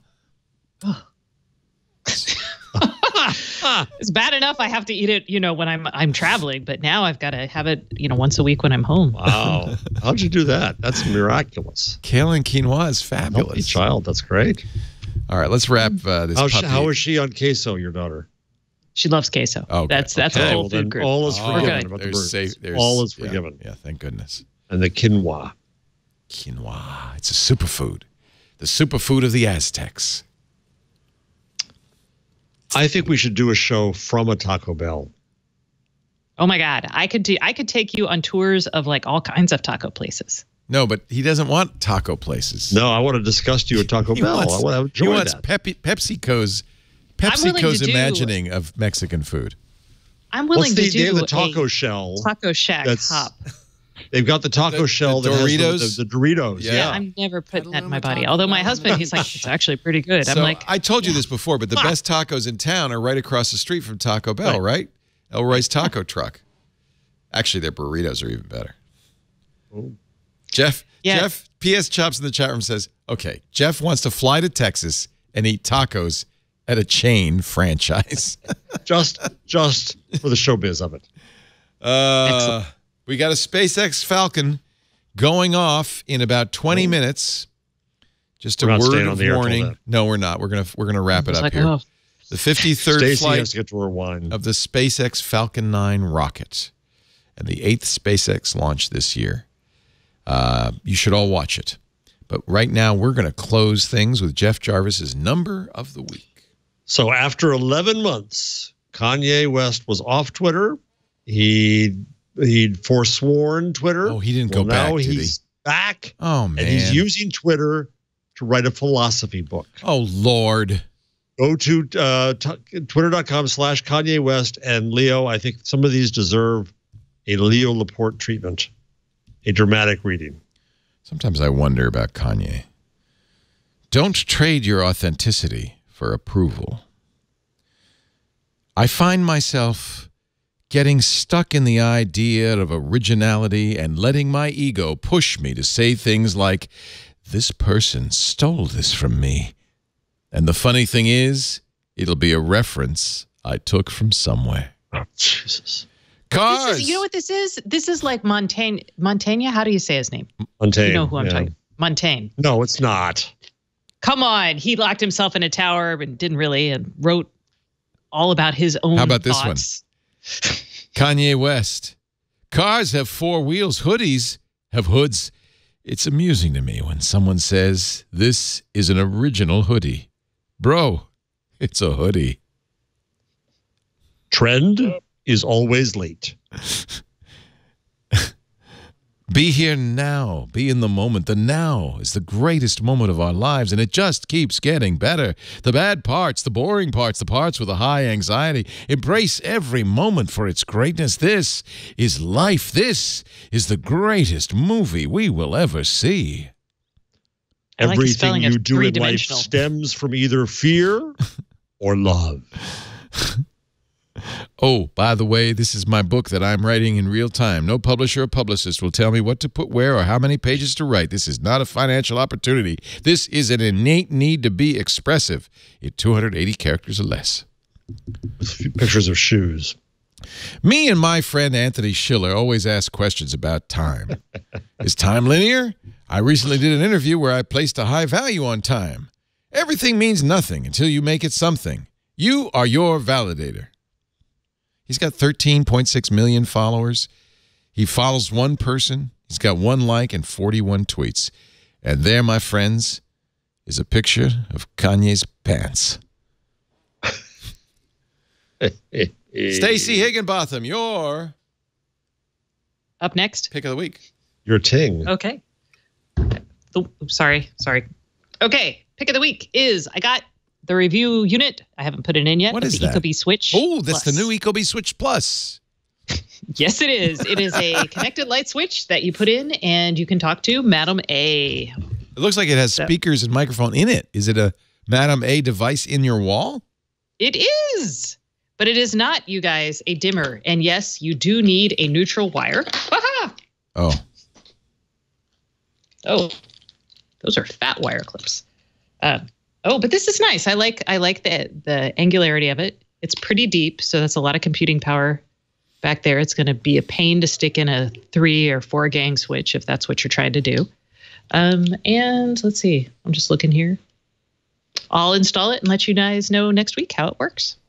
Oh, not next week. The week after that. okay.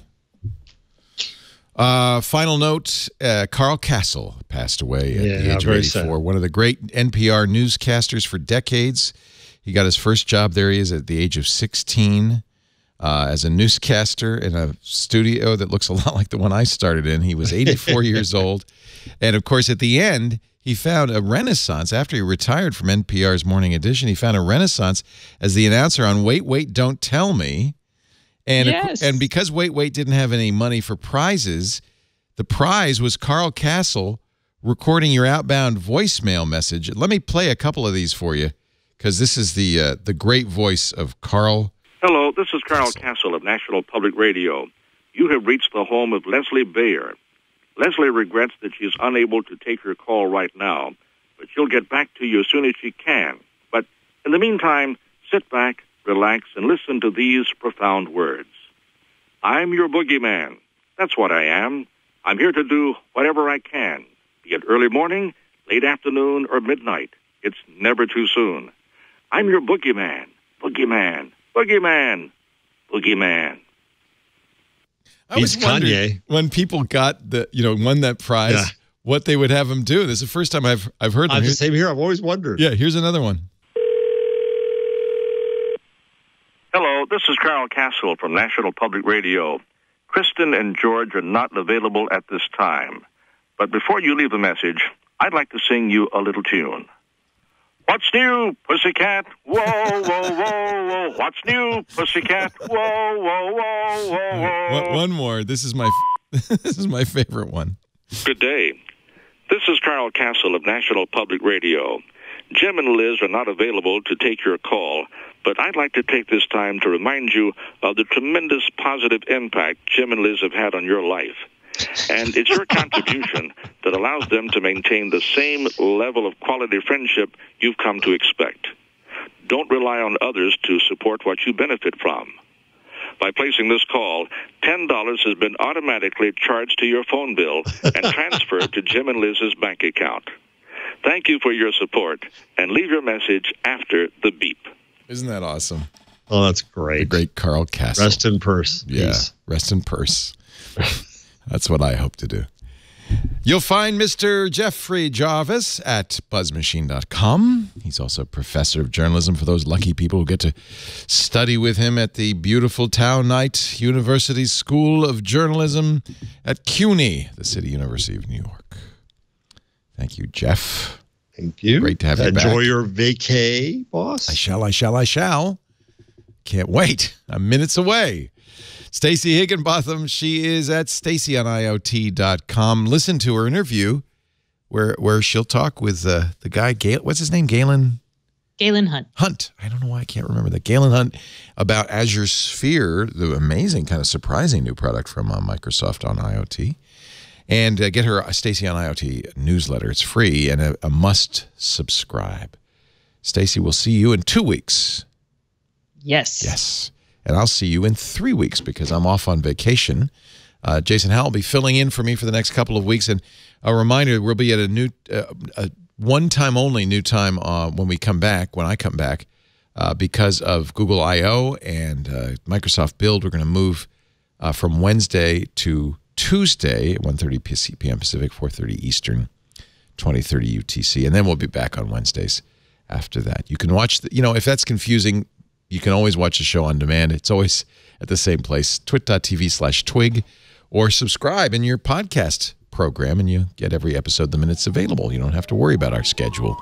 You'll just have it. Thanks for being here, and I'll see you in a couple of weeks on Twig. Bye-bye.